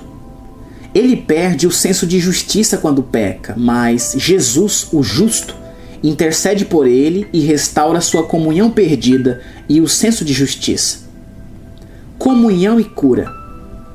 Está escrito em 1 João 1,9: se confessarmos os nossos pecados, Ele é fiel e justo para nos perdoar os pecados e nos purificar de toda injustiça. Isso restaura sua comunhão e o traz de volta à plena comunhão com o Pai. Agora, justamente por isso, depois que ele é curado, porque por suas pisaduras fomos curados, na mente de Deus ele está exatamente tão curado da doença como está curado do pecado. Se depois que ele foi curado da doença, o adversário colocar sobre ele alguma outra doença ou enfermidade, tudo o que ele precisará fazer é seguir o procedimento feito quando quebrou a comunhão espiritual com o Pai. A enfermidade é a quebra da comunhão com o Pai fisicamente. Quando a pessoa consegue a restauração da comunhão e uma restauração de seu senso de justiça por meio de confessar seus pecados e pela advocacia de Jesus Cristo, ela pode obter a sua cura física. A doença do espírito é a coisa que impede alguém de ser curado. As doenças do espírito são dúvidas, medos, consciência de pecado, senso de inferioridade, medo de ser indigno, senso de inaptidão para estar na presença de Deus. O sangue de Jesus Cristo, o Filho de Deus, purifica de tudo isso no momento em que a pessoa reconhece o seu pecado. O perdão significa que tudo o que confessou fica completamente apagado, como se ela nunca tivesse cometido o ato, conforme 2 Coríntios 5, 4 e 5. Porque também nós, os que estamos neste tabernáculo, gememos carregados, não porque queremos ser despidos, mas revestidos, para que o mortal seja absorvido pela vida. Ora, quem para isso mesmo nos preparou foi Deus, o qual nos deu também o penhor do Espírito. A palavra em grego para vida aqui é zoe. Ela significa vida eterna, vida de ressurreição. Em outras palavras, significa que a vida do Filho de Deus, a vida eterna, pode absolutamente dominar, governar e controlar as nossas vidas físicas. Se isso é verdade, então a doença fica completamente vencida. A fraqueza física fica eliminada e o Salmo 27:1 se torna uma realidade. O Senhor é a minha luz e a minha salvação. A quem temerei? O Senhor é a força da minha vida, de quem me recearei? Luz é conhecimento. Jesus é a luz do mundo. Aquele que anda nessa luz não tropeçará como aquele que anda em trevas, porque terá a luz da vida. João 8,12 Eu sou a luz do mundo. Quem me segue não andará em trevas, mas terá a luz da vida. A palavra será sua lâmpada, sua luz, sua salvação. Essa é a verdadeira libertação. Essa é a redenção. Salmo 119, 105 diz: Lâmpada para os meus pés é a tua palavra e luz para o meu caminho. Ela é libertação das coisas que não são da vontade do Pai. Você não pode nem por um momento crer que a mortalidade seja a vontade do Pai. Mortalidade significa fraqueza, doença, morte. Você não pode conceber que a doença e a enfermidade seja a vontade do Pai.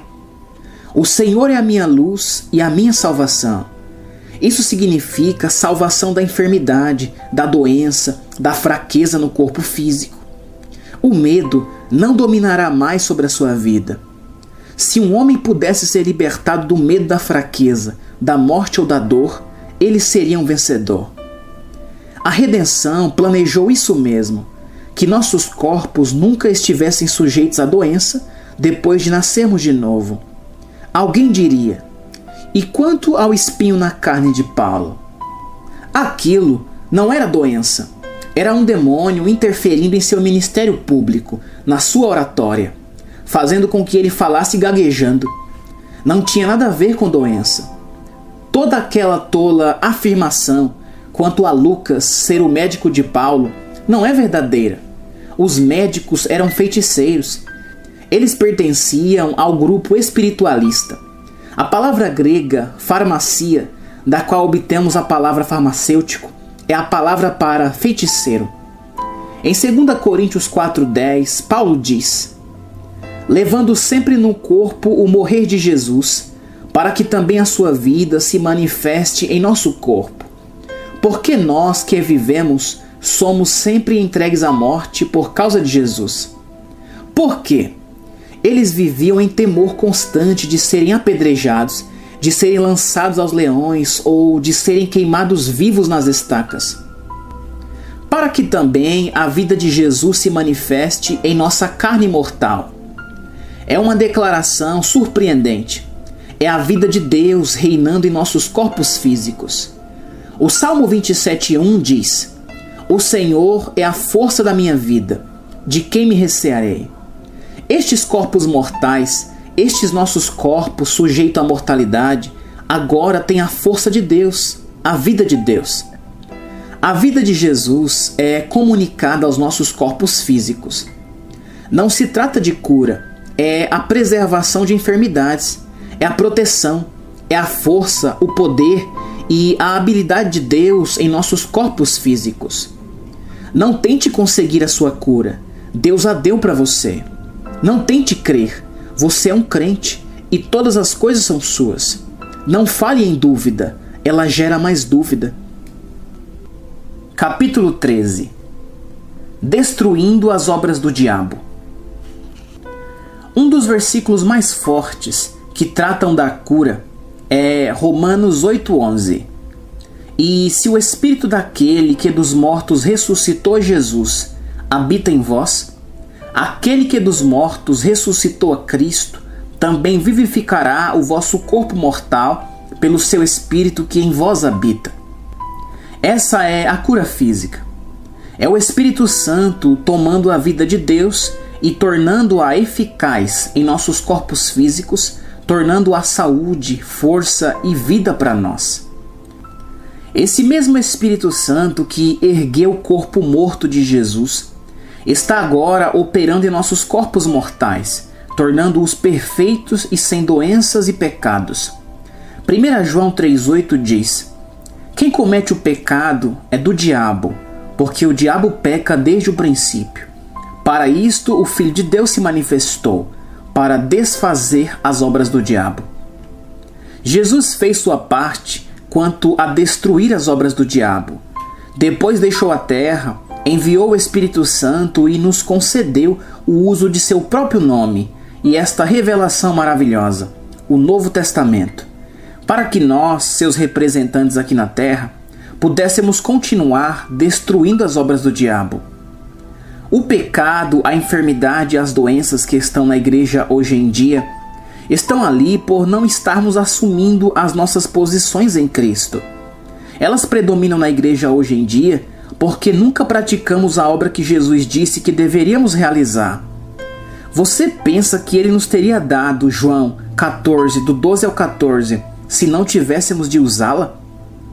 Na verdade, na verdade vos digo que aquele que crê em mim também fará as obras que eu faço, e as fará maiores do que estas, porque eu vou para meu Pai.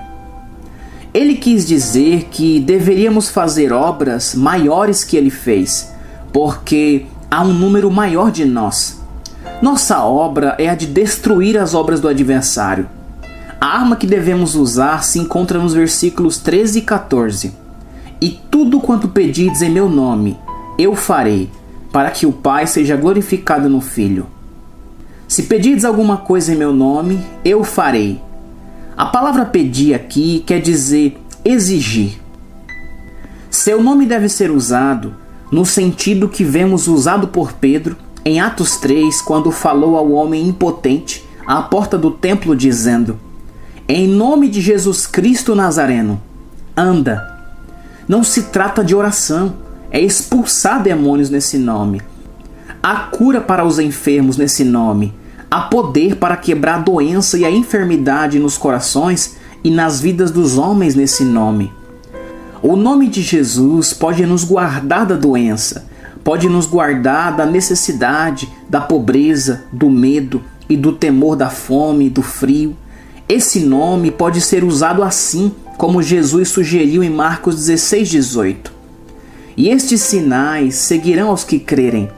Em meu nome expulsarão demônios, falarão novas línguas, pegarão nas serpentes, e se beberem alguma coisa mortífera, não lhes fará dano algum, e imporão as mãos sobre os enfermos e os curarão. A igreja primitiva era totalmente independente das circunstâncias. Com isso, não quero dizer a igreja toda mas que os apóstolos compreendiam plenamente o uso do nome de Jesus. Nessa época, as pessoas podiam ficar doentes quando quebrassem a comunhão e também por causa da falta de conhecimento, assim como poderia ocorrer hoje em dia. A igreja primitiva, isto é, a parte gentílica dela, nunca havia recebido qualquer revelação de Deus. Ela estava completamente em estado bruto.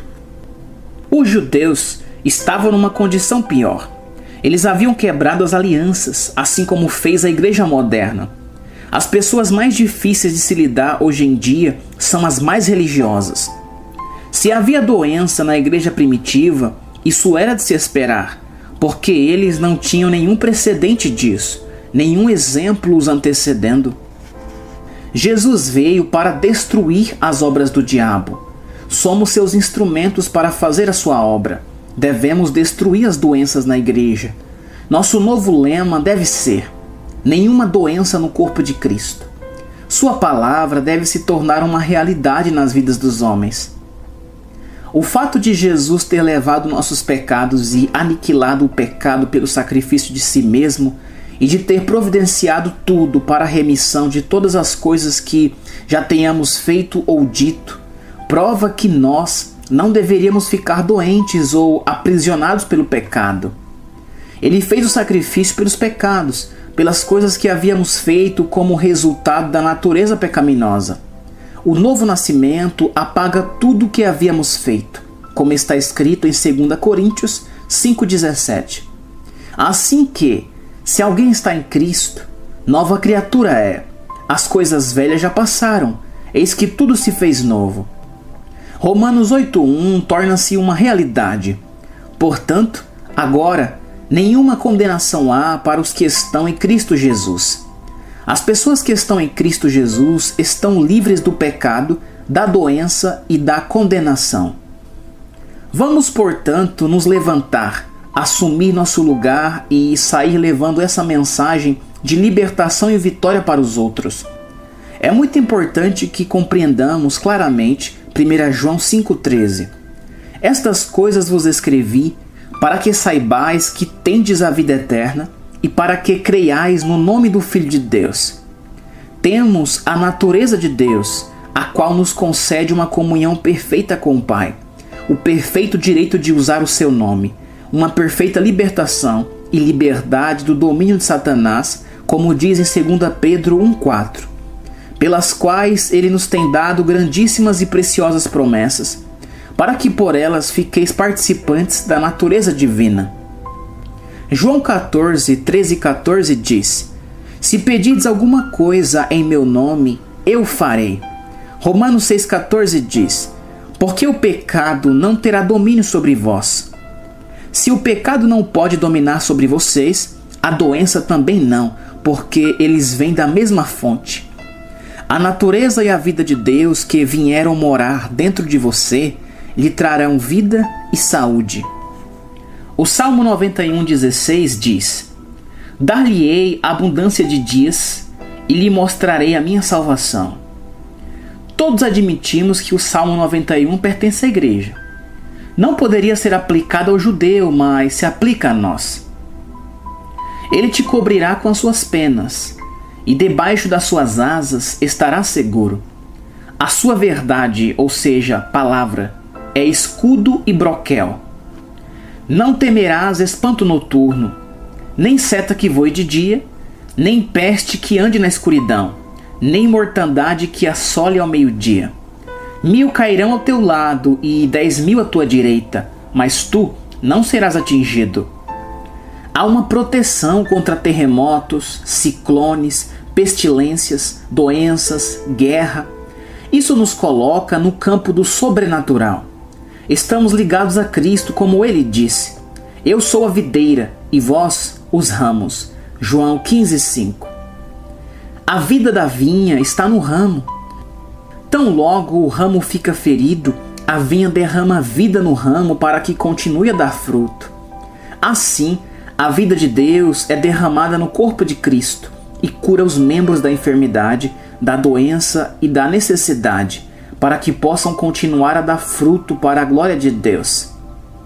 A preocupação e o medo envenenam o fluxo sanguíneo. A fé no Senhor Jesus o purifica. A doença é vencida por sua confissão da palavra.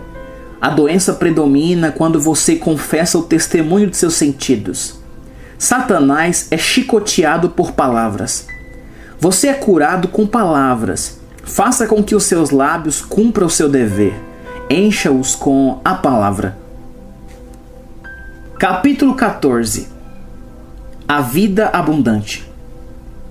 O cristianismo é uma realidade viva. João 10,10 10 diz: Eu vim para que tenham vida e a tenham em abundância.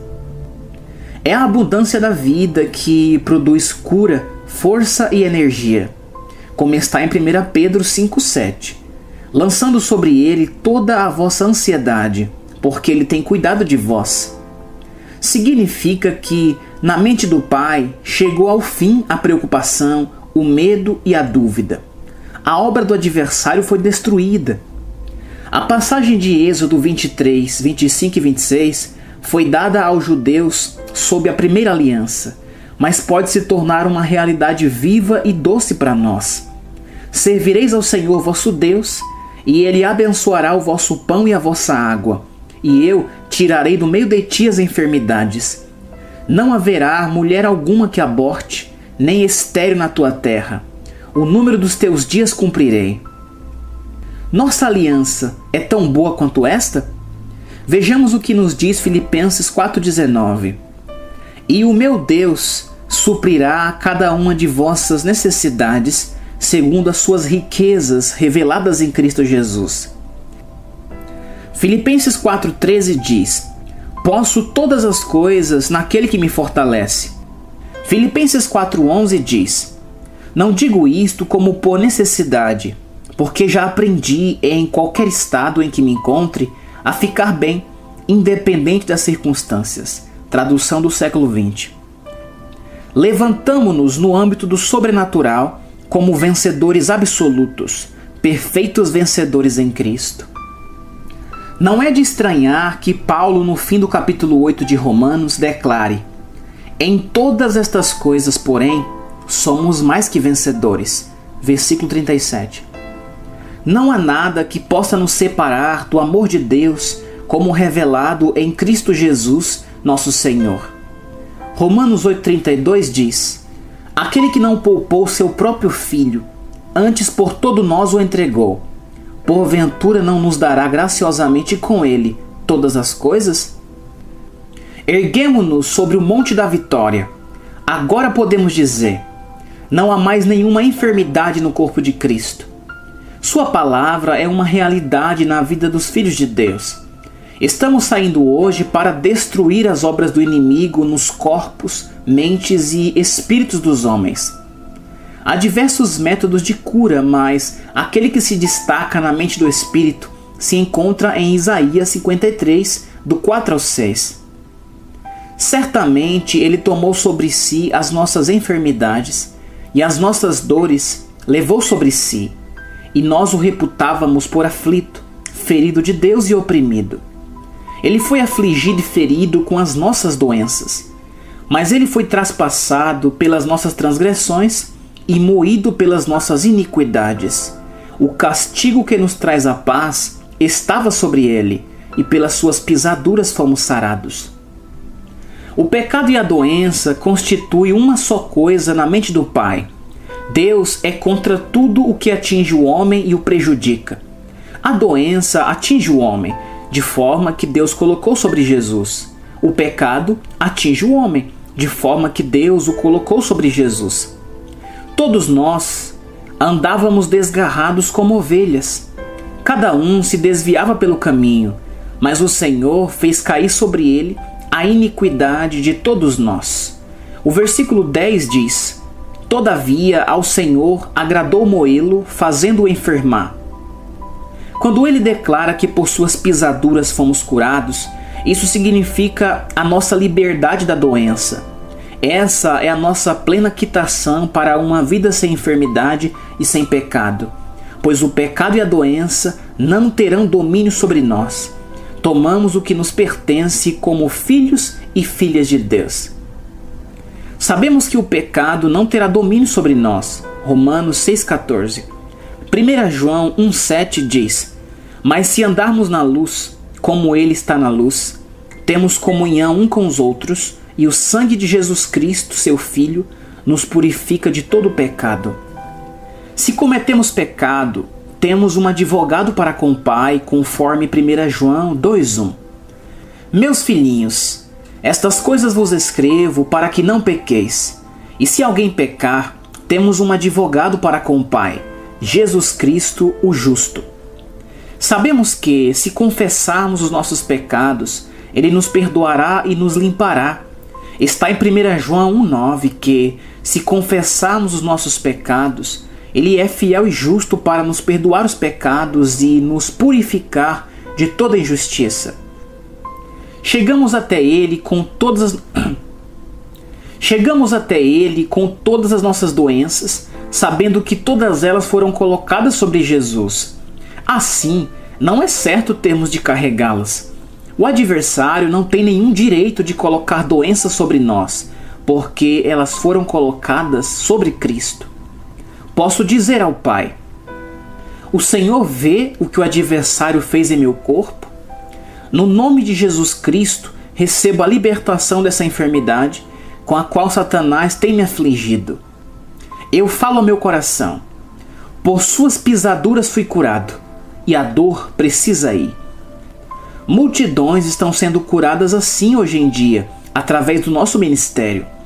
Podemos ficar tão livres das doenças como ficamos dos maus hábitos, pois no final das contas, o hábito da doença é como qualquer outro hábito impuro. Há provisão para a perfeita cura.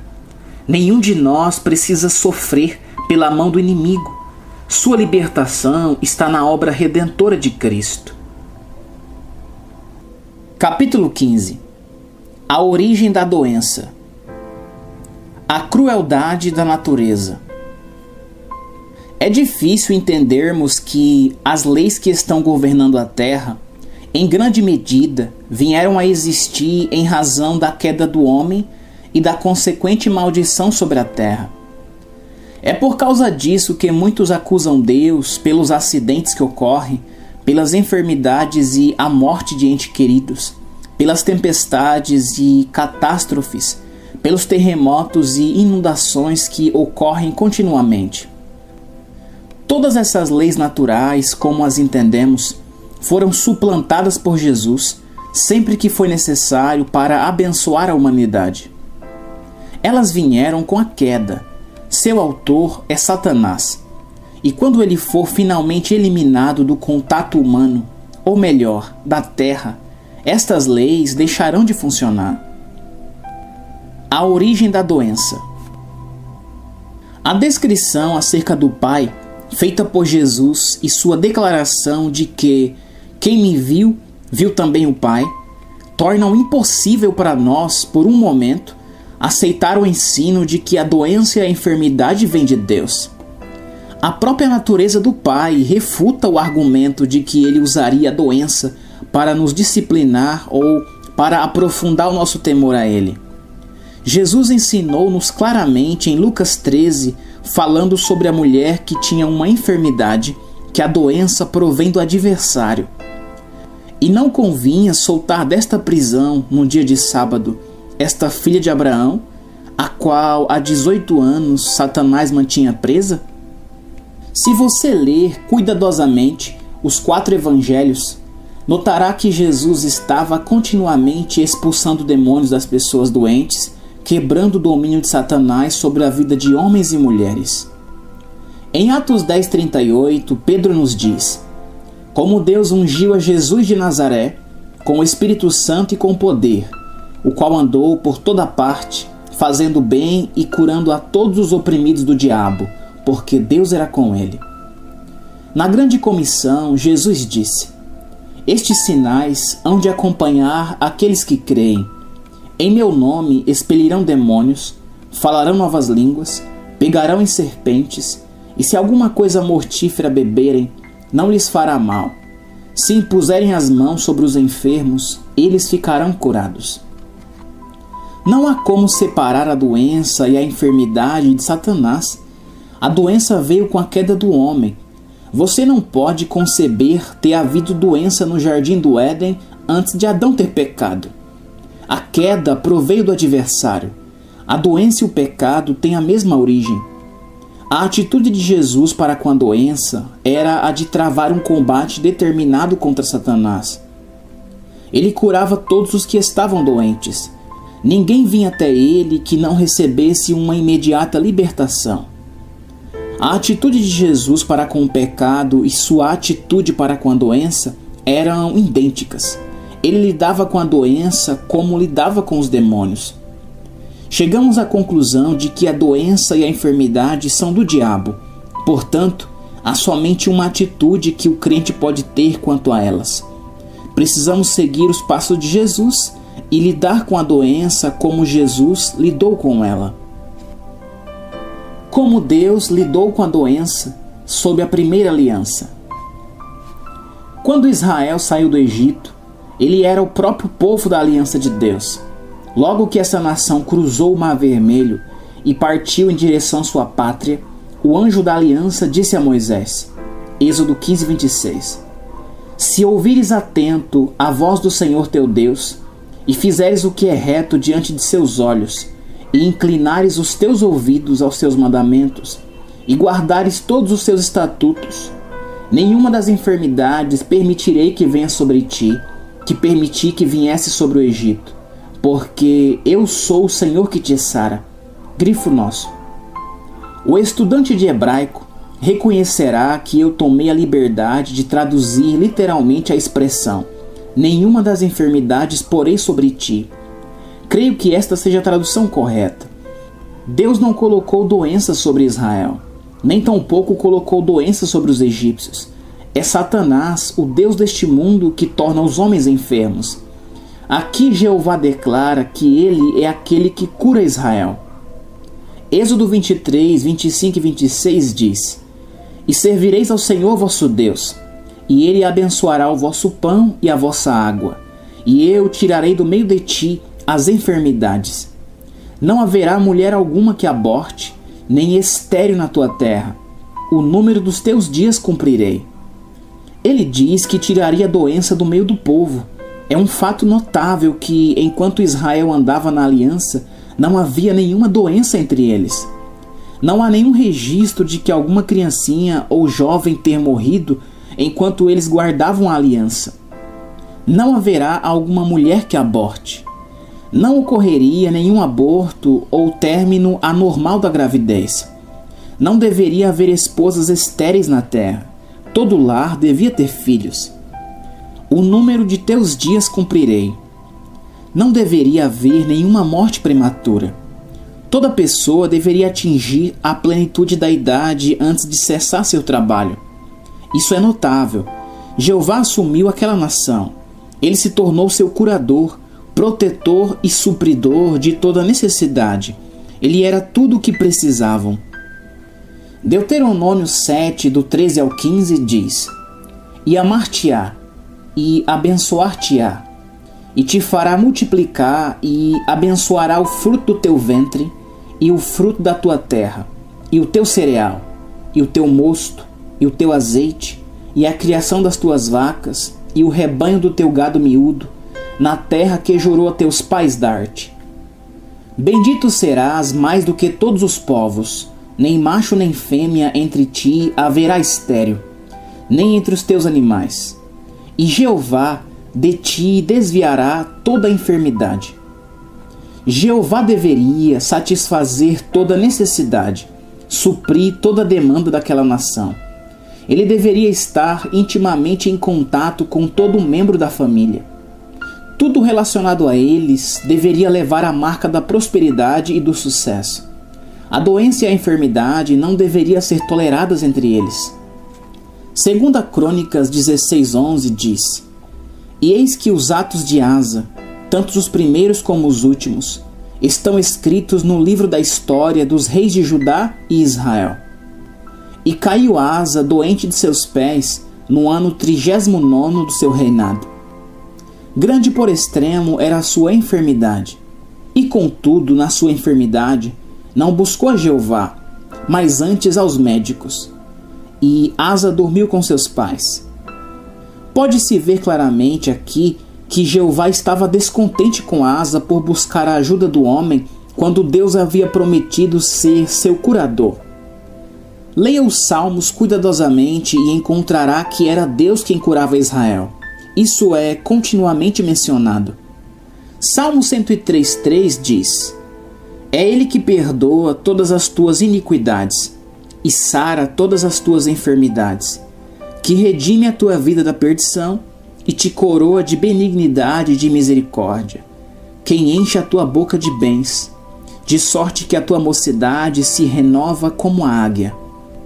O fato de que a doença veio através da desobediência à lei é evidente. O perdão para a desobediência significava a cura de seus corpos. Compartilhamos com Cristo da sua vida de ressurreição. Reinamos como reis no âmbito dessa vida de ressurreição. Você é o que ele diz que você é, quer reconheça ou não. Você compartilha de tudo que ele é ou fez. Como ele era em sua caminhada terrena, assim você é hoje. Como ele está sentado à destra do Pai, também legalmente você está ali assentado. Capítulo 16 Profecias relativas ao curador que viria. Após Deus ter contado a Israel que a razão para a doença e a enfermidade era que eles haviam se rebelado contra a palavra de Deus condenando o conselho do Altíssimo, ele declarou no Salmo 107, do 17 ao 20, assim: Os estultos, por causa do seu caminho de transgressão e por causa das suas iniquidades, serão afligidos. Eles se retiraram da proteção da aliança. Creio que está no plano do Pai que nenhum crente jamais fique doente, que viva sua plena extensão de existência e por fim entre em desgaste e adormeça. Não é a vontade do Pai que soframos com câncer e outras terríveis doenças que trazem dor e angústia. A sua alma aborreceu toda a comida e chegaram até as portas da morte. Então clamaram ao Senhor na sua angústia, e ele os livrou das suas necessidades. Os homens estavam doentes por causa das leis quebradas, por pecar contra a palavra de Deus. Estou falando agora dos judeus. Enquanto guardavam as leis da aliança, nenhuma doença esteve sobre eles, mas quando pecaram, seus corpos ficaram cheios de doenças. Contudo, eles tinham o direito de se voltar para o Senhor e encontrar sua cura. Durante a primeira aliança, praticamente todos os profetas que se destacavam tinham a liberdade de curar os enfermos Isaías 53 nos fornece uma descrição do Messias que viria. É uma descrição bastante gráfica. O versículo 3 diz: Ele era desprezado e o mais indigno entre os homens, homem de dores, experimentado nos trabalhos e como um de quem os homens escondiam o rosto. Era desprezado e não fizemos dele caso algum. Verdadeiramente, ele tomou sobre si as nossas enfermidades e as nossas dores levou sobre si. E nós o reputamos por aflito, ferido de Deus e oprimido. Esse versículo tem a ver com o problema da doença que confronta a igreja e o mundo hoje em dia, assim como também o problema do pecado. Ele levou nossas enfermidades e nossas doenças. Ele foi afligido, ferido de Deus e oprimido com nossas doenças. Foi Deus que colocou nossas doenças sobre Jesus. O versículo 10 diz: Todavia, ao Senhor agradou moê-lo, fazendo-o enfermar, quando a sua alma se puser por expiação do pecado. Verá a sua posteridade, prolongará os dias e o bom prazer do Senhor prosperará na sua mão. Deus o fez enfermo com a nossa enfermidade. Ele foi afligido com as nossas doenças. Quanto aos nossos pecados, ele foi ferido pelas nossas transgressões e moído pelas nossas iniquidades. O castigo que nos traz a paz estava sobre ele, e pelas suas pisaduras fomos sarados. Ele lidou com o corpo do homem, com a sua alma e espírito. Ele colocou nossas iniquidades e nossas doenças sobre Jesus, Ele foi afligido, ferido e oprimido com nossas doenças e nossos pecados, conforme 2 Coríntios 5:21. Aquele que não conheceu pecado, o fez pecado por nós, para que nele fossemos feitos justiça de Deus. Ele já curou você.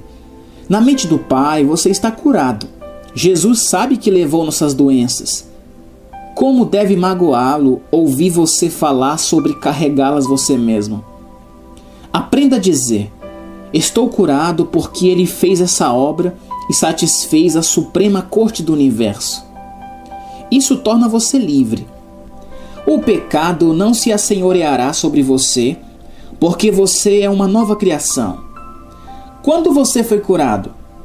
Quando Jesus venceu Satanás, o despojou de sua autoridade e ressurgiu. Foi então que você foi curado. Capítulo 17 O Ministério de Jesus Seguindo-se a tentação, como registrado em Mateus 4,24, Jesus desceu da montanha e as multidões se aglomeraram ao seu redor. E a sua fama correu por toda a Síria e trazia-lhe todos os que padeciam, acometidos de várias enfermidades e tormentos, os endemoniados, os lunáticos e os paralíticos, e ele os curava. Em todo o contato de Jesus com as pessoas, ele curava os seus doentes. Ele não rejeitava ninguém, todos eram curados. Algumas pessoas nos faria crer que há alguns casos em que não é da vontade do Pai curar.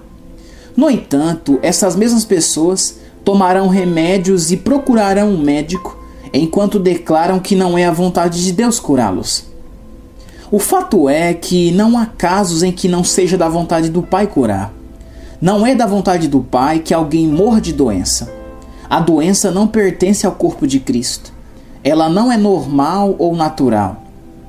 Quando Jesus disse: Eu sou a vinha e vós os ramos, quis dizer que estamos unidos a Ele, tão próxima e vitalmente como o ramo está ligado à vinha. Você pode entender que Jesus não podia ter câncer, tuberculose, pneumonia ou qualquer outra dessas doenças mortais. Se ele é a vinha, nós, como os ramos, não devemos ter nenhuma dessas coisas tão pouco. É anormal os crentes estarem aprisionados pela pobreza de forma a precisar ir ao mundo para obter ajuda. Também é anormal irem aos médicos para receber a cura. O crente é de Deus. Ele foi redimido da mão do inimigo. Ele tem a própria natureza e vida de Deus nele. Ele é a justiça de Deus em Cristo. Ele não somente é redimido da mão de Satanás e tornou-se uma nova criação, mas se encontra na presença do Pai sem nenhum sentimento de culpa ou de condenação. Ele tem a mesma liberdade para com o Pai agora que terá depois da morte quando for para o céu. Ele se situa diante do Pai agora como Jesus se situava diante dele. A natureza de amor do Pai tomou o lugar da natureza de Satanás em sua vida.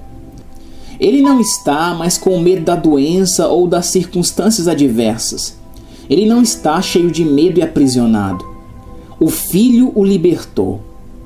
O amor perfeito lançou fora o medo. Ele está cheio da natureza e da vida de Deus, e a natureza de Deus é o amor. Não há nenhum motivo para a doença e a enfermidade no corpo de Cristo. Essas novas criaturas são filhos de Deus, herdeiros de Deus, co-herdeiros com Jesus Cristo. Eles têm Deus habitando neles. Eles têm a vida e a natureza de Deus. E Deus, o próprio Deus, na pessoa do Espírito Santo, o qual levantou Jesus dentre os mortos, fez dos seus corpos o seu lar.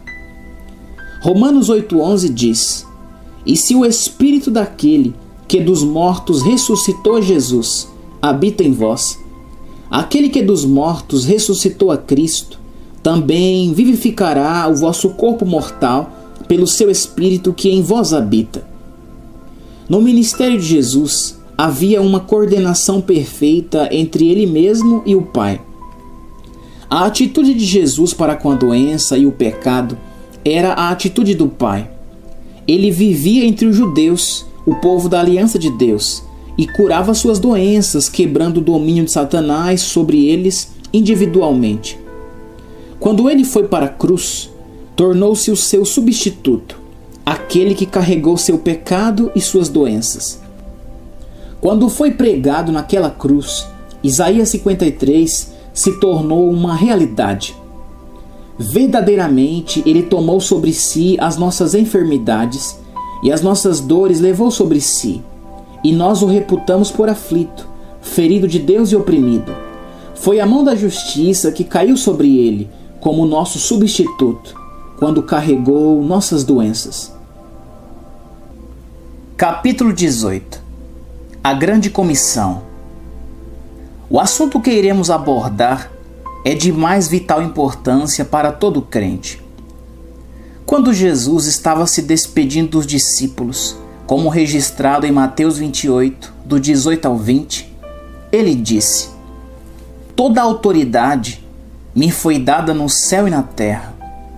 Ide, portanto, fazei discípulos de todas as nações, batizando-os em nome do Pai e do Filho e do Espírito Santo, ensinando-os a guardar todas as coisas que vos tenho ordenado e eis que eu estou convosco todos os dias, até a consumação do século. Toda a autoridade havia sido dada a Jesus no céu e na terra. Mas ele não precisava de autoridade, ele sempre a teve. Por que ela lhe estava sendo dada agora que ele estava deixando a terra? Foi-lhe dada porque ele era o cabeça da igreja, o primogênito dentre os mortos. Ele era o senhor da igreja. A igreja seria o seu corpo. Ele usaria essa autoridade através da igreja. Toda a autoridade que lhe foi dada foi para o benefício da igreja. Se não houver nenhuma maneira da igreja usá-la, então ela será uma habilidade similar ao nosso capital não usado. Temos, por exemplo, bilhões de dólares em ouro enterrados no chão pelo governo. Algumas pessoas pensam que isto é um sinal de pobre juízo, pois o ouro poderia estar em circulação trazendo bênção para as pessoas. A igreja fez a mesma coisa com toda a autoridade que Deus deu a Jesus. Ela a enterrou em sua teologia e credos. Ninguém parece ter sido capaz de alcançar essa autoridade. Ela não está fazendo nenhum bem para ninguém. A igreja não sabe que antes de Jesus ir embora, ele lhe passou a procuração para usar o seu nome. Essa procuração dá ao crente acesso àquela autoridade total. E tudo quanto pedirdes ou demandardes em meu nome, eu farei, para que o Pai seja glorificado no Filho. Se pedirdes alguma coisa em meu nome, eu farei. Aqui não se trata de oração, mas do uso do nome de Jesus para receber essa autoridade total. O livro de Atos apresenta caso após caso em que os homens usufruíram dessa autoridade total. Os homens foram abençoados por meio dela. Essa autoridade total está ainda disponível para aqueles que usam o nome de Jesus. Ela nunca foi retirada. Se uma parte da grande comissão foi anulada, então toda ela foi posta de lado. Se um milagre foi descartado, então todos os milagres foram postos de lado e o nome de Jesus não tem nenhuma autoridade. Mas sabemos que seu nome nos foi dado para operar milagres. Em Marcos 16, Jesus disse: Em meu nome expulsarão demônios, falarão novas línguas, pegarão nas serpentes e se beberem alguma coisa mortífera, não lhes fará dano algum, e imporão as mãos sobre os enfermos e os curarão. Cada uma destas cinco coisas corresponde a coisas que o adversário traz sobre a Igreja de Deus e sobre o mundo não salvo. Cinco manifestações milagrosas devem ocorrer. Satanás prende os homens no cativeiro, enche-os com medo do veneno. Satanás roubou-os de seu testemunho, de forma que eles não mais falam em novas línguas de libertação e de vitória. Eles foram roubados da habilidade de impor as mãos sobre os enfermos e ver os seus entes queridos sarados. Por quê? Porque o conhecimento pelos sentidos conseguiu o predomínio sobre o ministério. Jesus disse que, assim que os homens crescem nele, imediatamente estes sinais os seguiriam. Eles começariam a expulsar demônios, começariam a falar em línguas de poder. Imediatamente eles dominariam sobre a doença. As serpentes são tipologia da doença e dos demônios. Ora, o Senhor, depois de lhes ter falado, foi recebido no céu e assentou-se à direita de Deus. E eles, tendo partido, pregaram por todas as partes, cooperando com eles o Senhor e confirmando a palavra com os sinais que se seguiram. A atitude de Deus para com o pecado e a doença nunca mudou. Hebreus 13:8 diz: Jesus Cristo é o mesmo ontem e hoje e eternamente. Ele se opunha à doença naquela época e se opõe à doença agora. Ele sofreu por causa do pecado e sua atitude para com o pecado agora é como era então. Cristo estar assentado no trono é como que uma quitação plena para sua cura. Cristo estar assentado prova que ele terminou a obra. Sempre pense em Satanás como aquele que foi vencido, como aquele sobre o qual você tem domínio no nome de Jesus. Naquele nome, a nova criação domina sobre os demônios e a doença e sobre todas as circunstâncias que o prenderia em escravidão. Temos uma perfeita redenção, uma perfeita nova criação e uma perfeita união com Cristo. Eu sou a videira, vós os ramos. Temos uma mensagem que traz sucesso, saúde, felicidade e vitória para todo homem. Todo homem é um fracasso fora de Cristo. Temos a solução de Deus para o problema do homem. A palavra viva em seus lábios faz de você um vencedor, faz da doença e da pobreza seus servos. Ela traz Deus para a cena, traz a vitória, alegria e sucesso para os vencidos. Capítulo 19 A revelação de Jesus Cristo, dada por Deus ao apóstolo Paulo. Nessa revelação, vemos o elemento sobrenatural do cristianismo por uma ótica que a igreja moderna nunca viu. A revelação de Paulo começa com Jesus sendo tornado pecado. Ela trata do que ele fez e do que lhe foi feito durante os três dias e três noites em que esteve morto, até que finalmente ressurgiu dentre os mortos, levou seu sangue para o Santo dos Santos celestial e se assentou à direita do Pai. Esse período cobre os 40 dias desde sua crucificação até assentar-se à destra da majestade no alto. Ele trata com três fatos principais: o que Deus fez por nós em Cristo, na grande substituição, o que o Espírito Santo, através da palavra, pode fazer por nós na nova criação, e o que Jesus está fazendo por nós agora à destra do Pai podemos tratar somente de duas fases desta obra de Cristo. O que ele fez por nós? É profundamente importante que o leitor entenda plenamente esses fatos básicos. Cristo não ressurgiu dentre os mortos até haver quebrado o domínio de Satanás. Era imperativo que a autoridade de Satanás sobre o homem fosse quebrada. Cristo não ressuscitou dentre os mortos até ter vencido o adversário.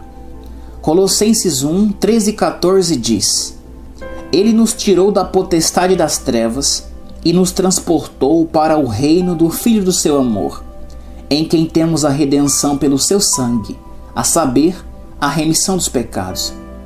Deus nos libertou da autoridade de Satanás. A palavra potestade traduzida significa autoridade. Ele nos transportou para o reino do Filho do seu amor. Este é o novo nascimento. Esta é a recriação. Temos aqui nossa redenção. Todo crente foi libertado da autoridade de Satanás e foi transportado para a família de Deus e tem sua redenção em Cristo. Ele é redimido. Satanás não tem mais domínio sobre ele. Romanos 6,14 diz: Pois o pecado não será senhor sobre você. Versão centenário, tradução nossa. Pecado aqui se refere a Satanás. Satanás não será senhor sobre você. Ele não tem mais domínio sobre o crente do que Faraó teve sobre os filhos de Israel depois que atravessaram o Mar Vermelho. Satanás não tem nenhum domínio sobre você. Ele não pode colocar doenças sobre você sem o seu consentimento. Um consentimento de ignorância, contudo, é um consentimento. Satanás está derrotado, vencido no que se refere a você. Satanás não está somente vencido, mas Deus fez de você uma nova criação sobre a qual Satanás não tem nenhum domínio. 2 Coríntios 5, 17 e 18 diz: Assim que, se alguém está em Cristo, nova criatura é. As coisas velhas já passaram, eis que tudo se fez novo. E tudo isso provém de Deus, que nos reconciliou consigo mesmo por Jesus Cristo e nos deu o ministério da reconciliação. Essas coisas velhas são aquelas da derrota, do fracasso, da fraqueza, da pobreza, do pecado e da morte espiritual. Somos novas criações. Jesus é o cabeça desta nova criação. Ele é o Senhor desta nova criação. Ele tomou o lugar de Satanás. Ele não tem mais domínio sobre você. Você não precisa ter nenhum medo dele, pois ele foi vencido. Em Romanos 8, do 31 ao 38, o Espírito, por meio do apóstolo Paulo, nos mostra qual é a posição da igreja. Ele chega ao auge no versículo 37. Mas em todas estas coisas somos mais do que vencedores temos uma redenção completa e perfeita. Esta nova criação não somente foi declarada justa e tornada justa, mas também tanto Deus como Jesus declaram a mesma como sendo a sua justiça. Justiça significa a habilidade de permanecer na presença do Pai sem nenhum senso de culpa, com a mesma liberdade que Jesus possui. Por quê? porque Romanos 3,26 declara: para que ele mesmo pudesse ser justo e justificador daquele que tem fé em Jesus. Versão revisada, tradução nossa. Deus se tornou a justiça dele em Cristo Jesus. 1 Coríntios 1,30 diz que Deus fez Jesus ser justiça para você. Esse é um fato muito admirável. Mas ele não para aí. 2 Coríntios 5,21 diz: Aquele que não conheceu o pecado, o fez pecado por nós, para que nele fôssemos feitos justiça de Deus. Se a linguagem significa alguma coisa, então todo crente se situa como estando completo em Cristo, como diz Colossenses 2,10. E estáis perfeitos, completos nele, que é a cabeça de todo principado e potestade. E João 1,16 diz: Porque todos nós temos recebido da sua plenitude, posição de estar completo, e graça sobre graça. O crente não é um bajulador que fica suplicando, implorando favores. Ele é um filho de Deus, um herdeiro de Deus, um príncipe de Deus. Ele se situa na presença do Pai, imperturbável, sem temor, tornado justo com a própria justiça de Deus, liberto com a própria liberdade de Deus. O Filho tornou você livre. Na realidade, você é livre. A doença e a enfermidade não têm domínio algum sobre você. Se tivéssemos espaço, poderíamos lhe mostrar que você não somente é redimido, uma nova criação e a justiça de Deus, mas que você é também um filho de Deus, membro da sua família. Mais do que isso, o Espírito que ressuscitou Jesus dentre os mortos, na verdade, habita em seu corpo. Você pode nunca ter dado lugar a ele, ou pode nunca ter estado consciente de que Deus mora em você, ou de que você tem a habilidade ou o poder de Deus dentro de si mesmo. Você pode nunca ter se aproveitado do fato de que a sua mente poderia ser renovada até que você pudesse conhecer a vontade de Deus. Você não somente tem Deus dentro de você, mas possui o nome de Jesus com a autoridade que Deus deu a Jesus nesse nome. Nesse nome, você pode impor as mãos sobre si mesmo se a dor vier e receber sua libertação. Nesse nome, você pode quebrar o poder do adversário sobre as suas finanças, sobre o seu lar, sobre os corpos de seus entes queridos. Poder e autoridade ilimitadas são dados aos membros individuais do corpo de Cristo. Alguns dos empecilhos para a cura. Talvez as armas mais ardilosas e perigosas do diabo sejam um senso de indignidade e um senso de falta de fé. Sua dignidade provém de Jesus Cristo, o justo. Você é a justiça de Deus nele. O senso de indignidade é uma negação do sacrifício substitutivo de Cristo e da justiça de Cristo diante do Pai que lhe foi concedida. Um segundo empecilho é que você aceitou esperança e concordância mental em vez de fé. Você nunca tem esperança por uma coisa que já possui. Você espera pelo que não é possuído ainda. Quando você tem esperança da sua cura, quer dizer que você não tem nenhuma fé nela, mas espera consegui-la em algum momento. A esperança é uma bela ilusão. A concordância mental é um parente da esperança. Ela é o substituto que o adversário deu à igreja de hoje para a fé. Muitos declaram que a Bíblia toda é a verdade, de Gênesis a Apocalipse, mas não aceitam os milagres, exceto em casos isolados. Eles concordam com a verdade da palavra, mas não creem nela. Eles dizem: sim, creio que a Bíblia é a verdade, mas nunca agem sobre ela. Crer é agir sobre a palavra de Deus. Não há nenhuma fé sem ação. Tiago diz, na tradução de Weymouth, que precisa haver ações correspondentes à nossa fé. A fé sem ações correspondentes é morta. Não pode haver nenhuma fé sem uma ação sobre a palavra. Posso concordar com ela, contudo, permanecer como sou. Posso admirá-la, mas ela não será minha ou fará parte de mim. Aquilo que a Bíblia declara pertence a mim. Então, logo descobri a diferença entre a concordância mental e a fé, tornei-me uma bênção para as multidões. Muitos foram curados nos meus programas de rádio quando pararam de apenas concordar mentalmente e agiram sobre a palavra.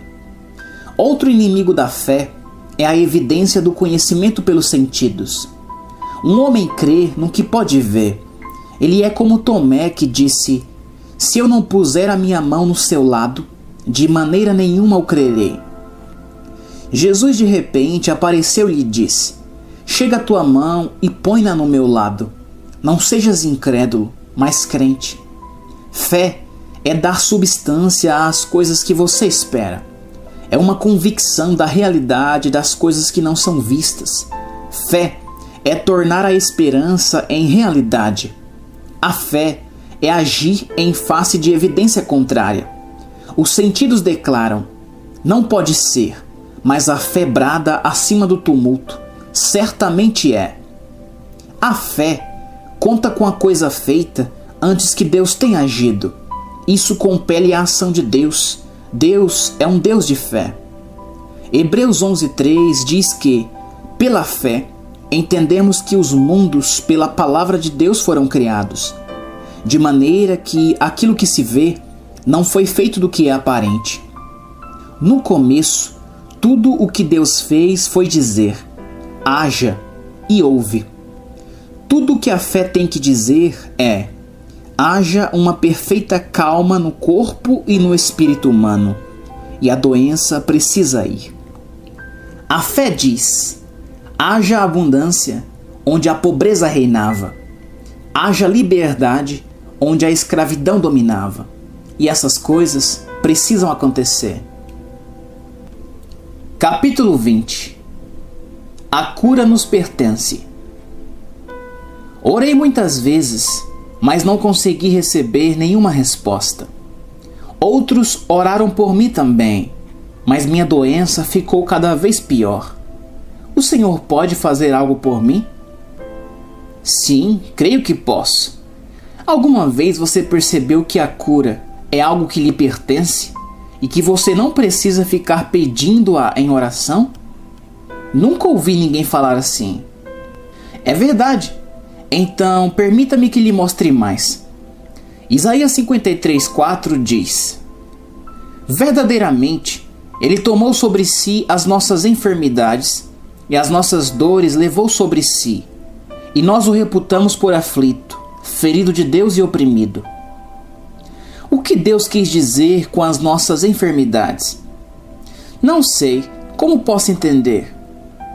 Verdadeiramente, Ele, isto é Cristo, tomou sobre si as nossas enfermidades e as nossas dores levou sobre si, e nós o reputamos por aflito, ferido de Deus e oprimido. Você entende isso, não entende? Sim, você entende que agradou ao Senhor moê-lo e que ele o fez enfermar com as nossas doenças? O que isso significa para mim? Significa que estas dores e aflições pelas quais você está passando foram colocadas sobre Jesus.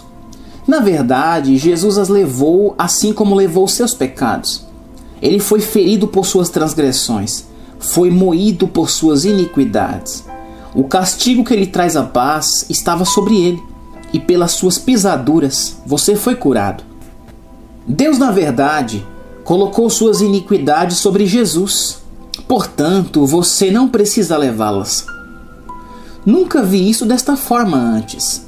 Quer dizer que Deus, na verdade, colocou minhas enfermidades sobre ele e o fez enfermar com as minhas doenças? Sim, isso é o que a palavra declara. Ele o tornou pecado com seus pecados, para que você fosse feito a justiça de Deus em Cristo. 2 Coríntios 5:21. Ele o fez enfermar com as suas doenças, para que você pudesse ficar perfeitamente bem em Cristo. A cura é um dom. Ela é sua agora, à medida que você lhe agradeça por ela. Deus colocou suas doenças sobre ele. Ele as carregou ele foi afligido, ferido de Deus e oprimido com suas doenças. Satanás não tem nenhum direito de colocar sobre você o que Deus colocou sobre Jesus.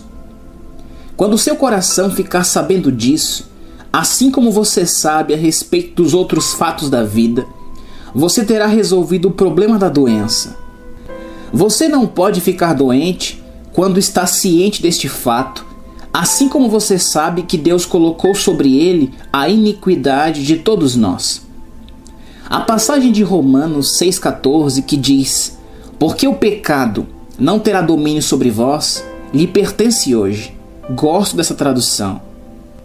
A doença e a dor são coisas do passado, pois a quem o Filho libertar, verdadeiramente serás livre. Se ele o libertou do pecado, o pecado não terá nenhum domínio sobre você. Se ele o libertou da doença, ela tem de não dominar mais sobre você.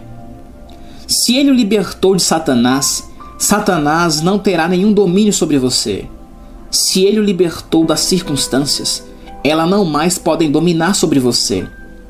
E como essas coisas dominaram sobre nós no passado, mas agora pertencemos a uma nova ordem de coisas.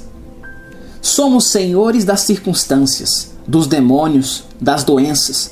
O pecado e os demônios não têm nenhum domínio sobre nós. O Filho nos libertou. Aos olhos de Deus somos livres. Aos olhos de Jesus somos livres. De acordo com a palavra, somos livres. Fique firme na liberdade com a qual Cristo libertou. Fique firme nessa confissão. Torne-a sua própria confissão. Assuma o seu lugar Faça a sua parte. Recuse-se a permitir que Satanás tenha alguma coisa a ver com este corpo no qual você vive. Vocês não sabem que o corpo de vocês é o templo, o lar e a casa de Deus? diz 1 Coríntios 6, do 15 ao 20. Ele é o lugar da habitação de Deus. Você é a pessoa responsável que vive neste templo. Você deve cuidar para que Satanás não invada a propriedade de Deus. Como devo mantê-lo fora dele? Jesus disse: Em meu nome vocês expulsarão demônios. Jesus lhe deu o direito de usar o seu nome. Esse nome pode quebrar o poder da doença, o poder do adversário. Esse nome pode impedir a doença e o fracasso de reinar sobre você. Não há nenhuma doença que tenha vindo sobre os homens que o seu nome não possa destruir. Nossa confissão é nossa fé falando. Jesus e seu nome são um. Esse nome e Jesus são um. Assim como seu nome é um com você. Você não tem de fazer força para se apossar dessa liberdade. Tudo o que tem de fazer é desfrutar dela e andar à luz da palavra. Faça desses fatos a sua confissão. Você deve contar ao mundo que pelas suas pisaduras você foi curado, que a doença perdeu seu domínio, que ela não mais pode dominar você. Se falarmos palavras de fé em vez de palavras de dúvidas, estaremos falando na linguagem de Deus. Palavra de dúvida provém de outra fonte. Você não pode falar em doença e enfermidade e andar em saúde. Você não pode falar às pessoas sobre a sua doença e sobre as suas dores e gemer acerca de suas aflições para obter a simpatia delas, sem perder sua comunhão com Ele. Quando falamos sobre nossas aflições para as pessoas, perdemos nossa fé e a doce comunhão que temos com o Pai. Contamos às pessoas sobre os nossos problemas para ganhar sua simpatia. Contudo, deveríamos lançar nossa ansiedade e aflições sobre Deus, pois Ele se importa conosco. Quando falamos sobre nossa fraqueza, fracassos e doenças, glorificamos o diabo que nos mandou essas coisas. Glorificamos os médicos e advogados, levando nossos problemas até eles. Eles são pagos para ouvir sobre os problemas das pessoas. Este é o segredo do sucesso deles serem bons ouvintes de problemas. Contar nossos problemas causados por Satanás é uma confissão de que ele é o Senhor e de que ele conseguiu a supremacia. Isso faz os problemas ficarem maiores, torna a doença pior, faz-nos sentir pior. A real confissão em nossas vidas deveria ser a da habilidade de Deus, de sua fidelidade e de que os nossos sofrimentos estão sendo levados por Jesus da mesma forma como levou nossas doenças e pecados. Apegue-se à confissão do que Deus é para você e do que você é em Cristo. Desista da sua confissão de supremacia de Satanás. Você sabe que a doença vem do adversário, que a falta de poder vem do adversário. Todos os nossos infortúnios são causados por demônios.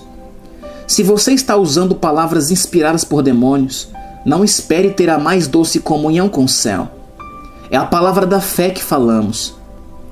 Nossos lábios estão cheios da palavra da fé. Nossos corações estão cantando a canção da fé. João 6,47 diz: Na verdade, na verdade vos digo que aquele que crê em mim tem a vida eterna. É o crente quem possui pela fé. Creio, por isso tenho. Então me alegro na minha propriedade. Desfruto da minha propriedade. A saúde é minha propriedade. O sucesso é minha propriedade. Tenho em abundância porque Ele é o meu supridor. Ele satisfaz todas as minhas necessidades de acordo com suas riquezas em glória em Cristo Jesus. Não estou gemendo ou me lamentando, estou louvando e me alegrando. A fé possui, Aquilo que possuímos pela fé é tão real como o que possuímos através dos sentidos. As coisas espirituais são tão reais quanto as coisas materiais. 2 Coríntios 5,7 diz: Porque andamos por fé e não por vista. Andamos na esfera de atuação de Deus. Não somente andamos pela fé, mas também falamos pela fé. Deixamos a esfera de atuação dos sentidos. Quando você aprende a andar pela fé, o domínio da doença sobre você é quebrado, mas quando você anda pela razão e segue as sugestões dos sentidos, como o tato, a visão e o paladar, você vive e anda na esfera na qual a doença terá domínio sobre a sua vida e a dor fará festa com seu corpo. Se você aprender a falar segundo a fé, será um vencedor. 1 João 5, 4 e 5 deve ser conhecida por todo crente. Deve fazer parte de seu conhecimento consciente e pode ser usada no dia a dia, porque todo o que é nascido de Deus vence o mundo. E esta é a vitória que vence o mundo, a nossa fé. Algumas coisas que são geradas de Deus. A nova criação é gerada de Deus. A justiça é gerada de Deus. O amor é gerado de Deus. A fé é gerada de Deus. Essas coisas são as coisas que vencem o mundo. Quem é que vence o mundo senão aquele que crê que Jesus é o Filho de Deus? Você crê, isso significa que você é um vencedor. Os crentes são vencedores. Deixe os lugares baixos da dúvida e do medo. Suba para os lugares altos e ande em comunhão com Ele. A cura e a vitória são suas. Deixe o fracasso para os que fracassam. Estamos andando com o poder de Deus, lutando com as armas da justiça, tanto de ataque como de defesa. Mas em toda a nossa luta, somos mais que vencedores. Por quê? Porque fomos ressuscitados juntamente com Cristo. Quando Jesus ressurgiu dentre os mortos, essa foi a nossa vitória sobre o inimigo. A tradução de Coniber, de Colossenses 2,15, nos diz: E ele desarmou os principados e as potestades que lutavam contra ele, e os expôs abertamente à vergonha, levando os cativos no triunfo de Cristo. Tradução nossa. Você se lembra de que fomos crucificados com ele morremos com Ele, fomos sepultados com Ele, sofremos com Ele, fomos justificados com Ele, fomos vivificados com Ele. Depois encontramos o inimigo e o vencemos em Cristo. Assim, Paulo pode nos dizer: no que vocês se tornaram participantes de sua justiça, através de sua fé em Deus, que o ressuscitou dentre os mortos. E Deus ressuscitou a Cristo para que pudéssemos participar da sua vida. Fomos feitos participantes da vitória da ressurreição de Cristo, da vida de ressurreição de Cristo e da nova criação pela ressurreição de Cristo. E todos nós recebemos também da sua plenitude, porque somos feitura sua, criados em Jesus Cristo. Capítulo 21 o que Deus declarou. Eis o fundamento para a fé, a palavra viva de Deus. O que Deus diz realmente é. O que o homem diz talvez será. O que Deus nunca diz é talvez será, mas é sempre a verdade. A palavra de Deus faz parte dele mesmo, assim como sua palavra faz parte de você. O que você diz revela quem você realmente é. As pessoas confiam no você que aparece por trás da sua voz. Sua voz e suas palavras são o verdadeiro você. Jesus era a voz de Deus. O que Jesus disse, o Pai disse. Jesus era o Logos, a palavra de Deus. Quando você lê o que Jesus disse, ou ouve a leitura correspondente, está ouvindo a Deus, está ouvindo a palavra viva. Deus está por trás do que ele falou. O trono de Deus está por trás do que ele falou. O caráter de Deus e o caráter de Jesus estão envolvidos no que o Pai ou Jesus falam. De forma que, quando ele diz, certamente ele tomou sobre si as nossas enfermidades e as nossas dores levou sobre si, e nós o reputávamos por aflito, ferido de Deus e oprimido, ficamos sabendo que nossas doenças foram colocadas sobre ele. Quando ele culmina essa afirmação com pelas suas pisaduras fomos sarados. Sabemos que fomos sarados. Isso tem a ver com a integridade da palavra. Mas ele foi ferido pelas nossas transgressões e moído pelas nossas iniquidades. O castigo que nos traz a paz estava sobre ele, e pelas suas pisaduras fomos sarados. Todos nós andamos desgarrados como ovelhas. Cada um se desviava pelo seu caminho mas o Senhor o fez cair sobre ele a iniquidade de nós todos. Isso resolve o problema do pecado. Hebreus 9:26 diz: Mas agora, na consumação dos séculos, uma vez se manifestou para aniquilar o pecado pelo sacrifício de si mesmo. O problema do pecado é um problema resolvido, porque Deus disse que estava resolvido. O problema da doença e da enfermidade estão resolvidos, porque Deus disse que os tinha resolvido. Ele carregou as doenças. Deus disse: Pelas suas pisaduras foste sarados, de forma que isso põe fim à discussão. Ele disse que a questão estava fechada. As doenças foram aniquiladas de forma que as doenças e as enfermidades não dominarão mais sobre você. Ele disse: Assim que, se alguém está em Cristo, nova criatura é. As coisas velhas já passaram, eis que tudo se fez novo. A doença não tem nenhum lugar na nova criação. Isso é a declaração do Senhor. Essa afirmação faz parte dele mesmo. Ele diz que você é uma nova criação. Ele diz que você é seu filho, nascido de cima. O que é nascido do Espírito é Espírito. Essa é uma afirmação verdadeira. O pecado e a doença são uma só coisa, não podem dominar a nova criação. Você não somente é seu filho, mas é coerdeiro com Jesus. Você é alguém que comunga com tudo o que Cristo fez e é. Isso mostra quão perto você está dele. Eu sou a videira, vós os ramos. Deus é o que ele disse. Em Cristo, você é aquilo que ele diz que você é. Você é uma nova criação criada em Cristo. Portanto, agora nenhuma condenação há para os que estão em Cristo Jesus, para a nova criação. O que Deus diz realmente é: se você é uma nova criação, então não há nenhuma condenação para você. Se não há nenhuma condenação, a doença não pode dominar sobre você.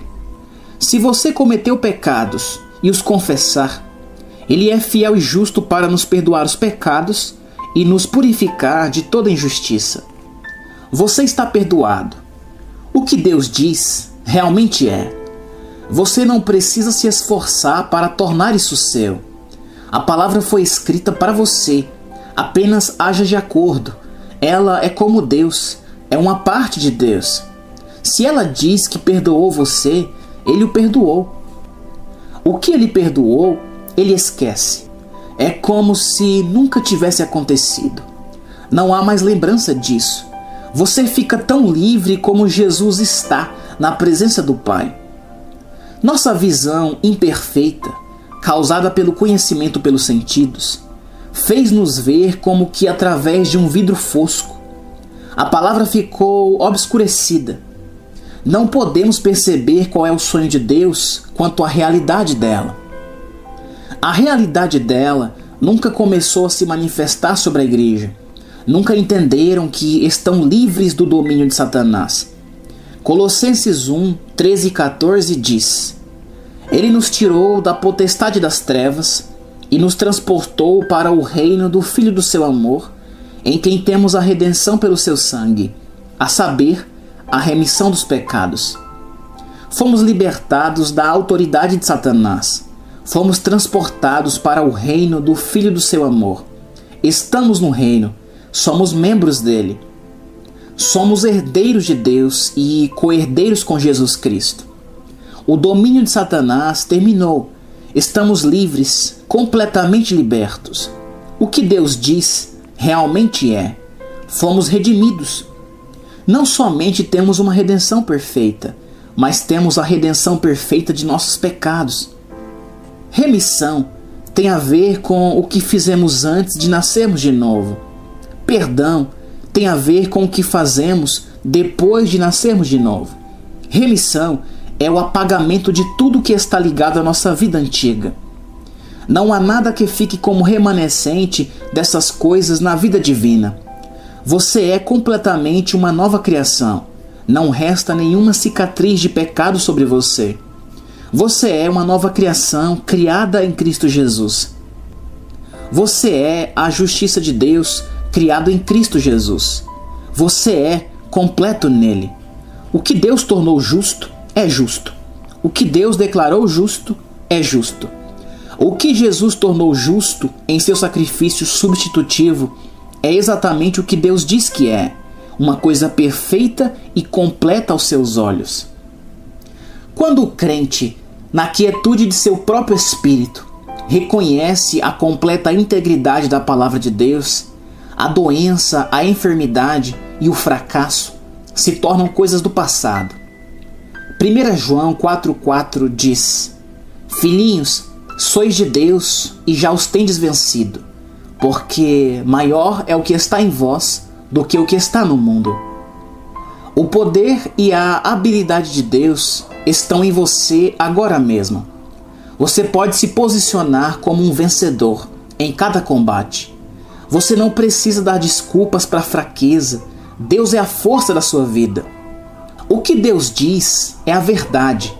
Não há nenhuma suposição a respeito disso. Essa é uma realidade absoluta no presente. Se ele diz que você é mais que vencedor, então você é.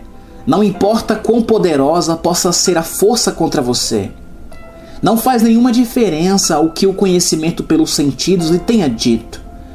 Você leva cativo todo entendimento e dá à palavra de Deus o seu lugar. Você age como se não houvesse nenhum inimigo no mundo.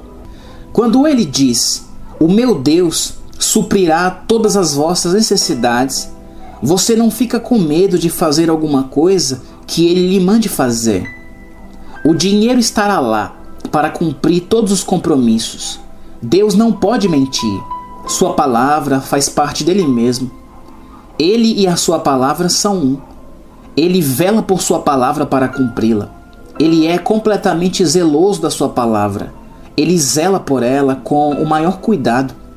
Tudo o que você precisa fazer é chamar sua atenção para o que ele prometeu, e ele cumprirá a promessa. A palavra de Deus tem em si a habilidade de cumprir tudo o que ele prometeu. O Logos de Deus é uma coisa viva. Produz no coração do homem a exata coisa que ele prometeu que faria.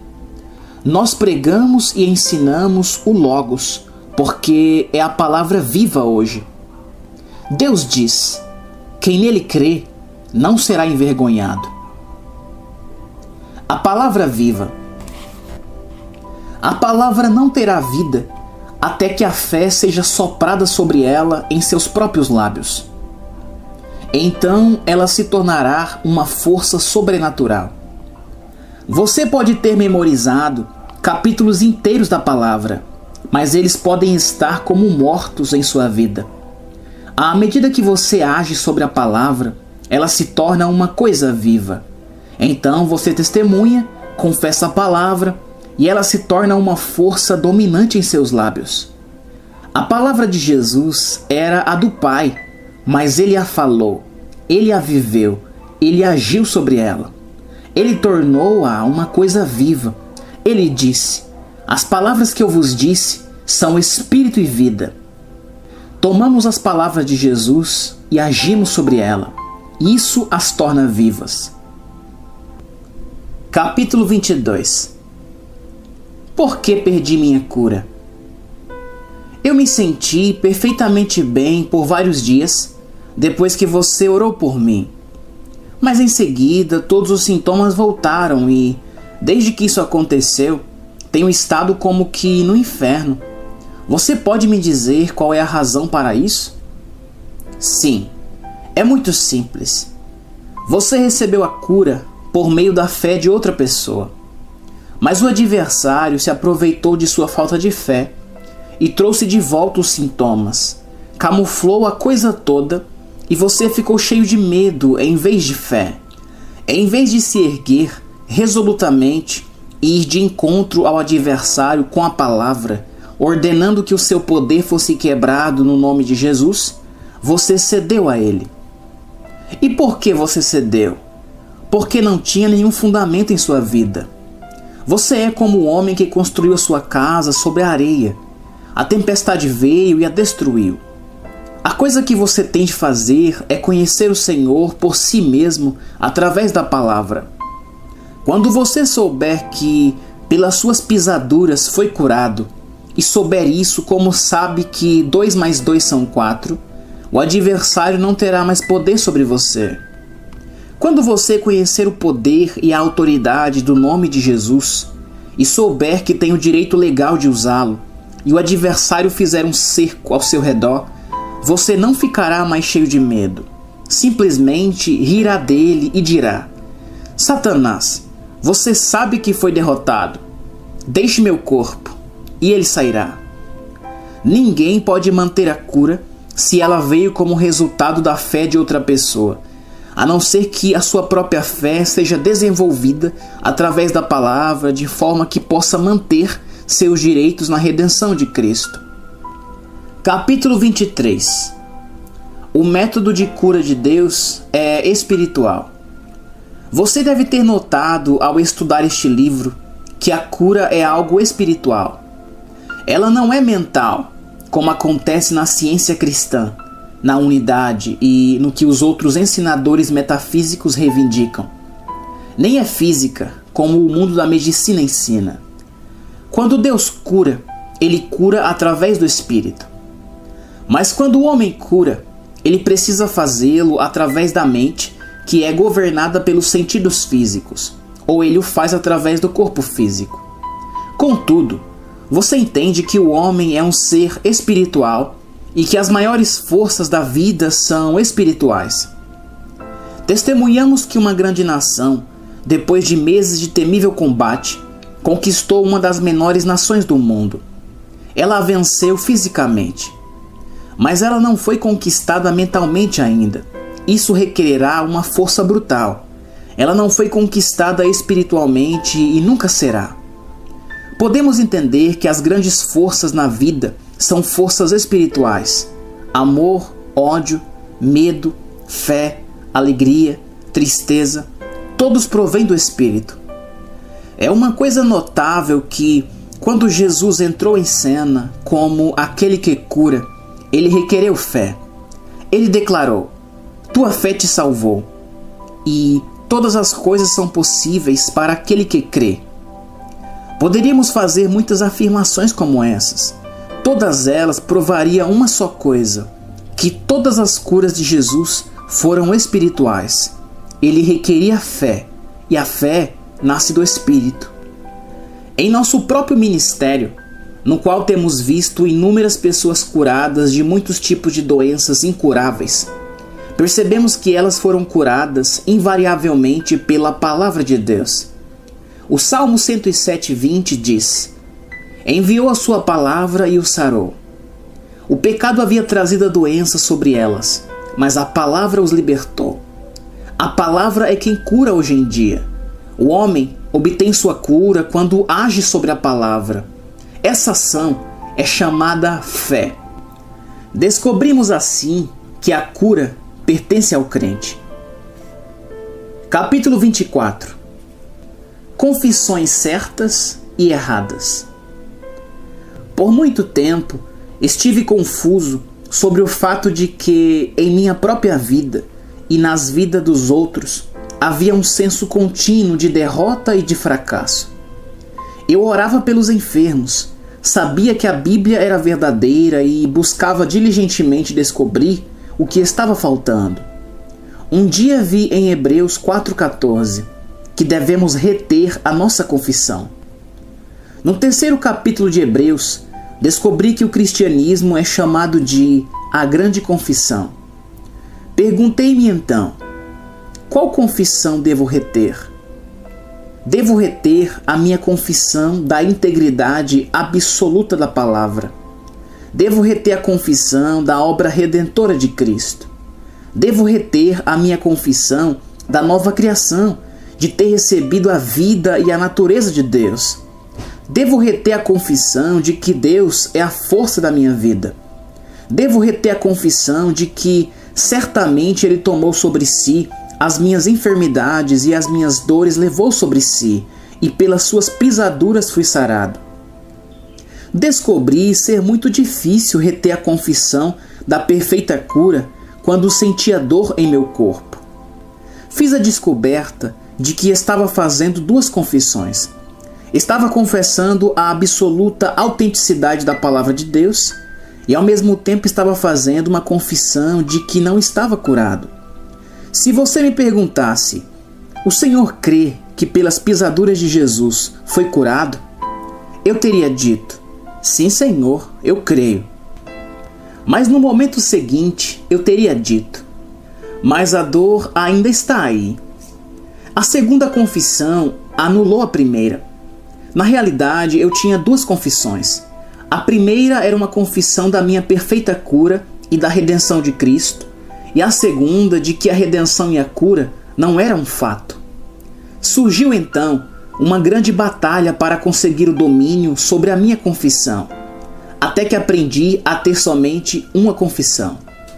Se eu confessar que meu Deus suprirá todas as minhas necessidades, não devo anular essa confissão dizendo: Sim, Deus supre minhas necessidades, contudo não posso pagar meu aluguel, não posso pagar a conta de telefone. A fé se apega à confissão da palavra o conhecimento pelos sentidos é a confissão das evidências físicas. Se aceito a evidência física contra a palavra de Deus, anulo a palavra quanto ao que se refere a mim. Porém, eu escolho me apegar à minha confissão de que a palavra de Deus é verdadeira, de que pelas suas pisaduras fui curado, de que de fato meu Deus supre as minhas necessidades. Eu retenho essa confissão em face às aparentes contradições e ele é compelido a confirmá-la.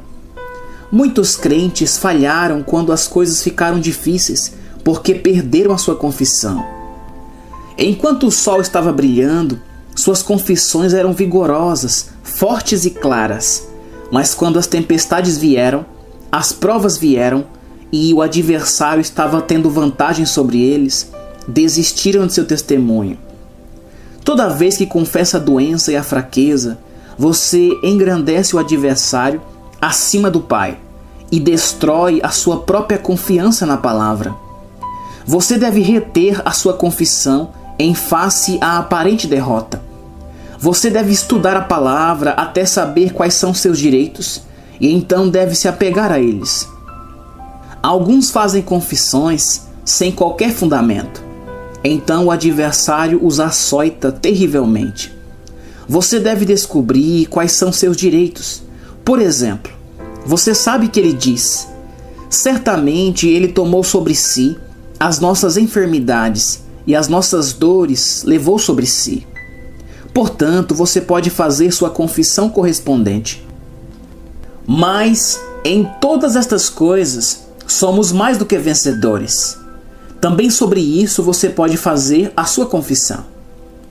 Maior é aquele que está em mim do que aquele que está no mundo. Você pode fazer também a sua confissão aqui. Permaneça firme na sua confissão diante de todas as dificuldades, nas boas ou nas más notícias. Você sabe que sua confissão é de acordo com a palavra. Apocalipse 12, 11 diz: E eles o venceram pelo sangue do Cordeiro e pela palavra do seu testemunho. Capítulo 25 O sumo sacerdócio de Jesus. O ministério de Jesus, à destra do Pai, é um destaque dos mais raros da revelação paulina. O problema da autoria de Hebreus ficou resolvido. Hebreus faz parte dessa revelação. Ninguém mais poderia ter entregado essa revelação da forma como Paulo a entregou a nós é uma revelação daquilo que Jesus fez desde a hora em que foi feito pecado na cruz até que se assentou à direita do Pai.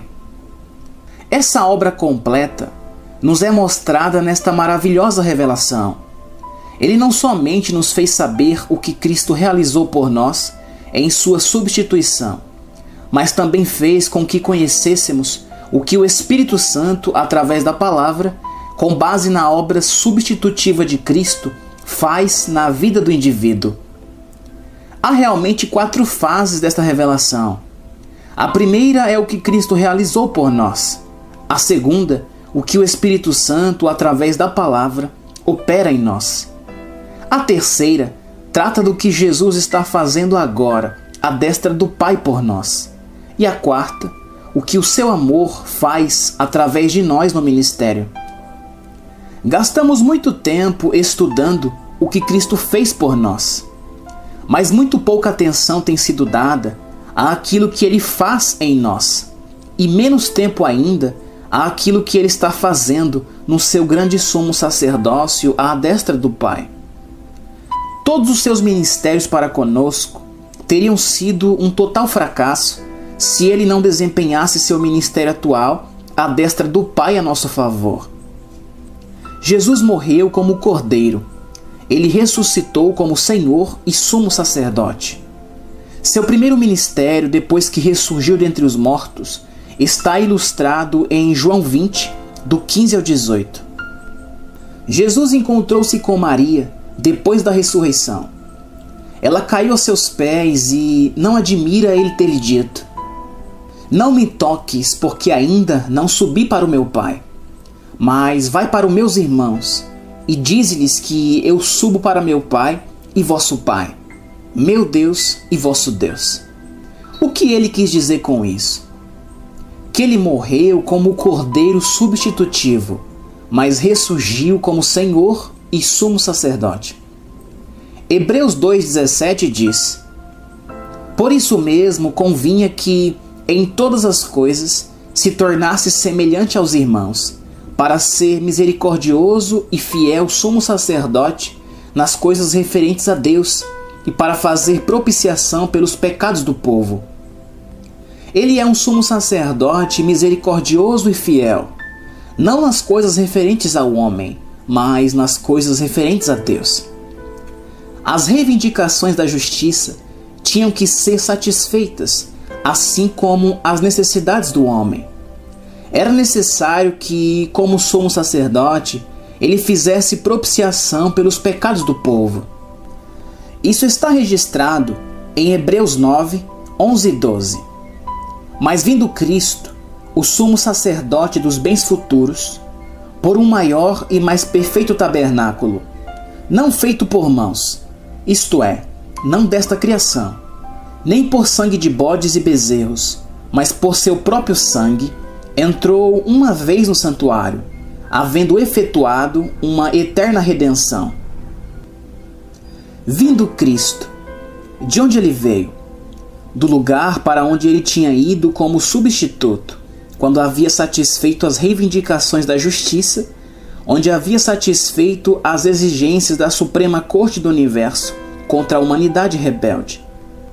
Ele tinha de levar o seu sangue para o Santo do Santo Celestial e selar o documento da nossa redenção com ele. Seu sangue é que garante agora a integridade da nossa redenção. Assim como o sumo sacerdote, sob a primeira aliança, levava o sangue para o Santo dos Santos uma vez por ano e fazia uma expiação anual, Jesus levou seu próprio sangue para lá e realizou uma eterna redenção de uma vez por todas. A expiação simplesmente significava cobrir o pecado de Israel, enquanto os pecados eram levados para longe pelo bode expiatório. A natureza de pecado no homem que fez com que ele quebrasse a lei. Não quero dizer o ato, mas a causa do ato, que se opunha a Deus e tinha que ser coberta. Então Jesus veio e aniquilou essa natureza pelo sacrifício de si mesmo. Em Hebreus 9:26 temos: Mas agora, na consumação dos séculos, uma vez se manifestou para aniquilar o pecado pelo sacrifício de si mesmo. Não eram os pecados que o homem tinha cometido, mas era a natureza pecaminosa que tinha de ser aniquilada. Essa natureza pecaminosa era a morte espiritual, a natureza de Satanás. Os pecados do homem eram coisas pequenas que podiam ser apagadas, mas essa natureza pecaminosa exigia que o próprio Filho amado de Deus se tornasse pecado para que pudéssemos nos tornar a justiça de Deus nele. Ele tomou nosso pecado para que pudéssemos nos tornar justos. Ele tomou nossa morte espiritual para que pudéssemos ter a vida eterna. Ele tomou nosso ostracismo, nossa natureza fora da lei, para que pudéssemos tomar o lugar de filhos com o Pai. Ó, oh, a incomensurável graça de Deus que foi desvendada no sacrifício de Jesus. Ele carregou seu próprio sangue para o Santo dos Santos celestial e, em vez de fazer uma expiação anual, nos deu uma redenção eterna. Hebreus 2,17 diz: Pelo que convinha que em tudo fosse semelhante aos irmãos, para ser misericordioso e fiel sumo sacerdote naquilo que é de Deus. Ele é um sumo sacerdote misericordioso e fiel. Deus tinha que ser satisfeito as reivindicações da justiça tinham que ser satisfeitas. Ele foi feito pecado, esteve debaixo de condenação, e por três dias e três noites esteve no inferno, trancado na prisão da morte. A Suprema Corte pôde então justificá-lo plenamente como nosso substituto e declará-lo completamente justificado. Ele satisfez as exigências da justiça e foi libertado. Deus lhe disse: Este dia eu te gerei. Que dia foi esse em que ele foi gerado? Foi no terceiro dia, lá embaixo na prisão da morte, que ele nasceu de novo do Espírito. Esse foi o seu novo nascimento. Foi então que fomos recriados, pois somos feitura sua, criados em Cristo Jesus. Ele foi ali justificado em espírito não somente foi ele declarado justo, mas também foi tornado justo com a própria natureza de Deus. Agora, tendo sido tornado justo, tendo vencido Satanás, despojando-o de sua autoridade e ressurgindo dos mortos, a Suprema Corte do Universo colocou o selo de aprovação sobre a sua obra a nosso favor. Então ele pôde ir para o Santo do Santo Celestial e se assentar à destra da majestade no alto. Ele foi feito propiciação pelos nossos pecados. Essa palavra propiciação significa substituição. Ele foi feito substituição pelos pecados do povo, porque naquilo que ele mesmo, sendo tentado, padeceu, pode socorrer aos que são tentados. Hebreus 3:1 diz: pelo que, irmãos santos, participantes da vocação celestial, considerai a Jesus Cristo, apóstolo e sumo sacerdote da nossa confissão. O cristianismo é chamado de uma confissão. A obra terminada de Jesus Cristo é chamada de uma confissão. Agora você pode entender Romanos 10, 9 e 10. Se quanto a boca confessares ao Senhor Jesus como Senhor, o cristianismo é uma confissão. É uma confissão da obra terminada de Jesus. É uma confissão de que ele está sentado à destra do Pai, tendo nos redimido perfeitamente. É uma confissão de nossa filiação, de nosso lugar em Cristo, de nossos direitos e privilégios. É uma confissão de nossa supremacia sobre a doença, a fraqueza e Satanás, no nome de Jesus. E que confissão é essa? Hebreus 4, do 14 ao 16, nos leva a um passo mais longe no desenvolvimento desse ministério de Jesus como sumo sacerdote. Visto que temos um grande sumo sacerdote, Jesus, Filho de Deus, que penetrou nos céus, retenhamos firmemente a nossa confissão, porque não temos um sumo sacerdote que não possa compadecer-se das nossas fraquezas. Porém, um que, como nós, em tudo foi tentado, mas sem pecado. Cheguemos, pois, com confiança ao trono da graça, para que possamos alcançar misericórdia e achar graça, a fim de sermos ajudados em tempo oportuno. Todo o ministério de Jesus gira em torno desse ofício do sumo sacerdócio. Como sumo sacerdote, ele levou seu sangue para o Santo dos Santos. Como sumo sacerdote, ele se assentou à destra da majestade no alto. Ele é o sumo sacerdote e mediador entre Deus e o homem. Nenhum homem pode chegar ao Pai senão por ele. Jesus disse: Eu sou o caminho, a realidade e a vida. Ninguém pode chegar ao Pai senão por mim. Pedro disse em Atos 4,12: E em nenhum outro há salvação, porque também debaixo do céu nenhum outro nome há dado entre os homens pelo qual devamos ser salvos. Jesus é o único caminho. Jesus é o único caminho sem condenação para a presença de Deus. Não admira que a igreja primitiva tenha sido chamada de o caminho, como vemos em Atos 9:2. E lhe pediu cartas para as sinagogas de Damasco, a fim de que, caso achasse alguns que eram do caminho, assim homens como mulheres, os levasse presos para Jerusalém. Atos 19:9 diz: Mas como alguns deles se endurecessem e não obedecessem, falando mal do caminho perante a multidão, retirou-se deles e separou os discípulos, disputando todos os dias na escola de um certo tirano. E Atos 19, 23. Naquele mesmo tempo, houve um não pequeno alvoroço acerca do caminho. Veja também Atos 24, 14 e 22, Atos 16 e 17, Isaías 30 e 21, Isaías 35 e 8.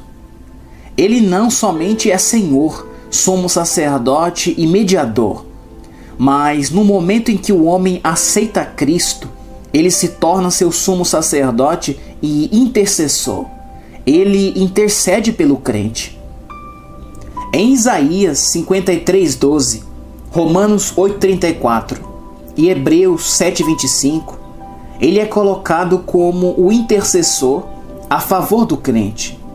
Ele vive para fazer intercessão. Que ministério, que serviço. Ele não tem oportunidade de ter férias. Ele não tem oportunidade de desistir sequer por um momento. Ninguém mais pode agir como sumo sacerdote, mediador e intercessor. Ele tem outro ministério importante. Ele é o advogado. Quando o crente é tentado e Satanás consegue se assenhorear dele, e ele clama em agonia, pedindo misericórdia, nós o ouvimos sussurrar. 1 João 1,9 Se confessarmos os nossos pecados, ele é fiel e justo para nos perdoar os pecados e nos purificar de toda injustiça. Então, ele culmina dizendo no versículo seguinte: Meus filhinhos, estas coisas vos escrevo para que não pequeis. E se alguém pecar, temos um advogado para com o Pai, Jesus Cristo, o justo. 1 João 2:1. Ele é justo. Assim, pode ir diante da presença do Pai quando perdemos o senso de justiça por causa de nossas obras erradas. Como nosso advogado, ele restaura o nosso senso perdido de justiça ele é o Senhor e o cabeça da igreja. Davi profetizou seu respeito no Salmo 23:1. O Senhor é o meu pastor e nada me faltará. Ele é quem toma em conta, quem ama. Ele é o noivo do corpo. Ele é o primogênito dentre os mortos, o cabeça de todos os principados e potestades. Ele é o meu Senhor ressuscitado, assentado à destra do Pai. Siga-me ao longo de toda a epístola aos Hebreus e encontrará uma revelação contínua dessas fases diferentes de seu ministério como sumo sacerdote. Hebreus 4,14 diz: Visto que temos um grande sumo sacerdote, Jesus, Filho de Deus que penetrou os céus, retenhamos firmemente a nossa confissão. este é o Filho como sumo sacerdote. Retenhamos firmemente nossa confissão. Qual é a nossa confissão? É a de nossa redenção, nossa recriação, nossa união com o Pai em Cristo, nossa vitória sobre as circunstâncias, demônios e doenças, nossa independência em Cristo da lei natural.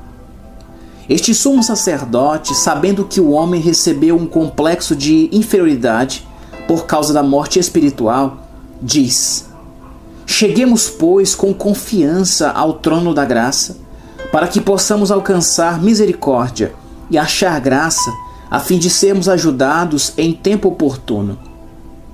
Por que não temos um sumo sacerdote que não possa compadecer-se das nossas fraquezas, porém um que, como nós, em tudo foi tentado, mas sem pecado? Essa palavra confiança significa liberdade de se exprimir. Na versão Pichito, há uma referência marginal que diz: com o rosto descoberto. Estamos chegando sem qualquer senso de culpa ou de pecado, como uma criança que vem até seus pais terrenos. Porque todo sumo sacerdote tomado dentre os homens tem fraquezas. Mas Jesus não tinha nenhuma fraqueza, ele não tinha nenhuma, senão a que assumiu de nós. Ele não veio da semente de Levi, não estava no sacerdócio por nascimento, mas ele é sacerdote segundo uma ordem provinda de Deus. Jurou o Senhor e não se arrependerá. Tu és sacerdote eternamente. De tanto melhor aliança, Jesus foi feito fiador. Hebreus 7:21. Ele é o sumo sacerdote. Ele é o fiador desta nova aliança. A nova aliança é encabeçada por ele. Ele era o sacrifício da aliança.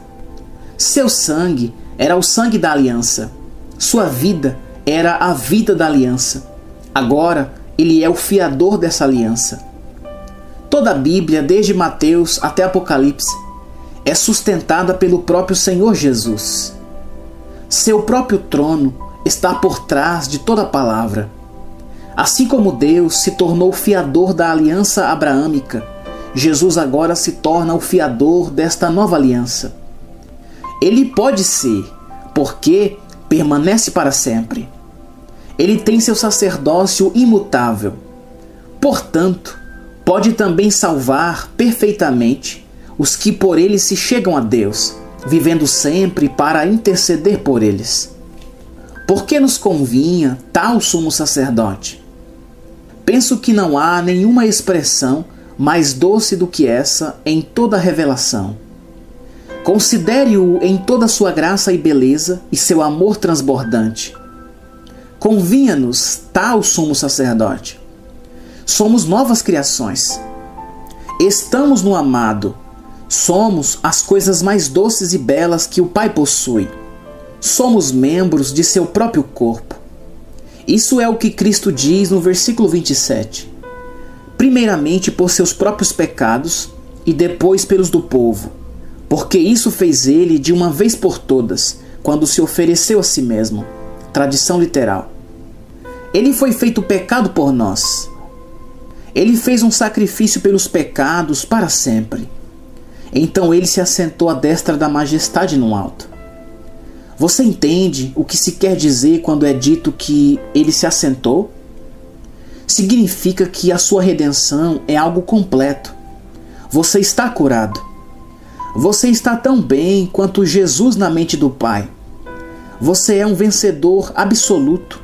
A pobreza, a falta, a necessidade são coisas do passado para que possamos alcançar misericórdia e achar graça, a fim de sermos ajudados em tempo oportuno. O meu Deus suprirá todas as vossas necessidades. Seu Pai Celestial sabe que vocês têm necessidade de todas essas coisas. Jesus demonstrou isso em sua caminhada terrena. Ele alimentou multidões ele concedeu aos discípulos um grande arrastão de peixes. Ele transformou água em vinho. Ele curou os enfermos e satisfez toda a necessidade do homem. Esse é o meu Senhor. Ele é o mediador desta nova aliança. Ele se ergue entre a humanidade e o Pai com as mãos perfuradas, o lado ferido e a fonte ensanguentada pelos espinhos. Ele é o mediador. Você pensa que ele rejeitará alguém que vem até o Pai? Nunca. Todo homem não salvo tem o direito legal à vida eterna. Jesus assume a parte dele e se responsabiliza no momento em que o homem diz: Deus, recebo seu filho como meu Salvador e o confesso como meu Senhor. O ministério sumo sacerdotal de Jesus satisfaz toda a necessidade do crente, desde o momento em que ele nasce de novo até ser conduzido à presença do Pai no final da vida. Conclusão: Você acaba de ler este livro. Contudo, ele não lhe fará nenhum bem, a não ser que você tenha decidido agir acerca das passagens bíblicas citadas. As promessas relacionadas à situação em que você enfrenta não serão de nenhuma valia até que você haja sobre elas. Crer é agir sobre a palavra. Fé é resultado de ação. Não poderá haver nenhuma cura, nenhuma libertação, nenhuma vitória, até que você haja sobre a palavra. Você pode pedir que outros ajam por você. Eles lhe darão alívio temporário, mas o que você precisa é aprender a agir por si mesmo. Valeria a pena você conseguir o nosso livro e curso de estudo bíblico a Bíblia à luz da nossa redenção e começasse a reconhecer a palavra. Várias pessoas pediram que incluíssemos neste livro testemunhos das curas milagrosas que foram vistas em nosso ministério, mas não consideramos que isso fosse sábio. Nosso propósito em imprimir este livro era de que as pessoas pudessem ver a sua libertação em Cristo da opressão e da doença que pudessem ver a sua redenção completa que já foi comprada para elas. Sentimos que, se elas fossem ler acerca das manifestações físicas nas vidas dos outros, inconscientemente olharia para a cura da outra pessoa e não veria a sua própria libertação como já realizada. Por isso estamos deixando esta mensagem no livro para que ela seja apenas uma declaração da palavra de Deus acerca de nossos direitos e privilégios em Cristo. Queremos que você creia e haja segundo a palavra para receber a sua cura.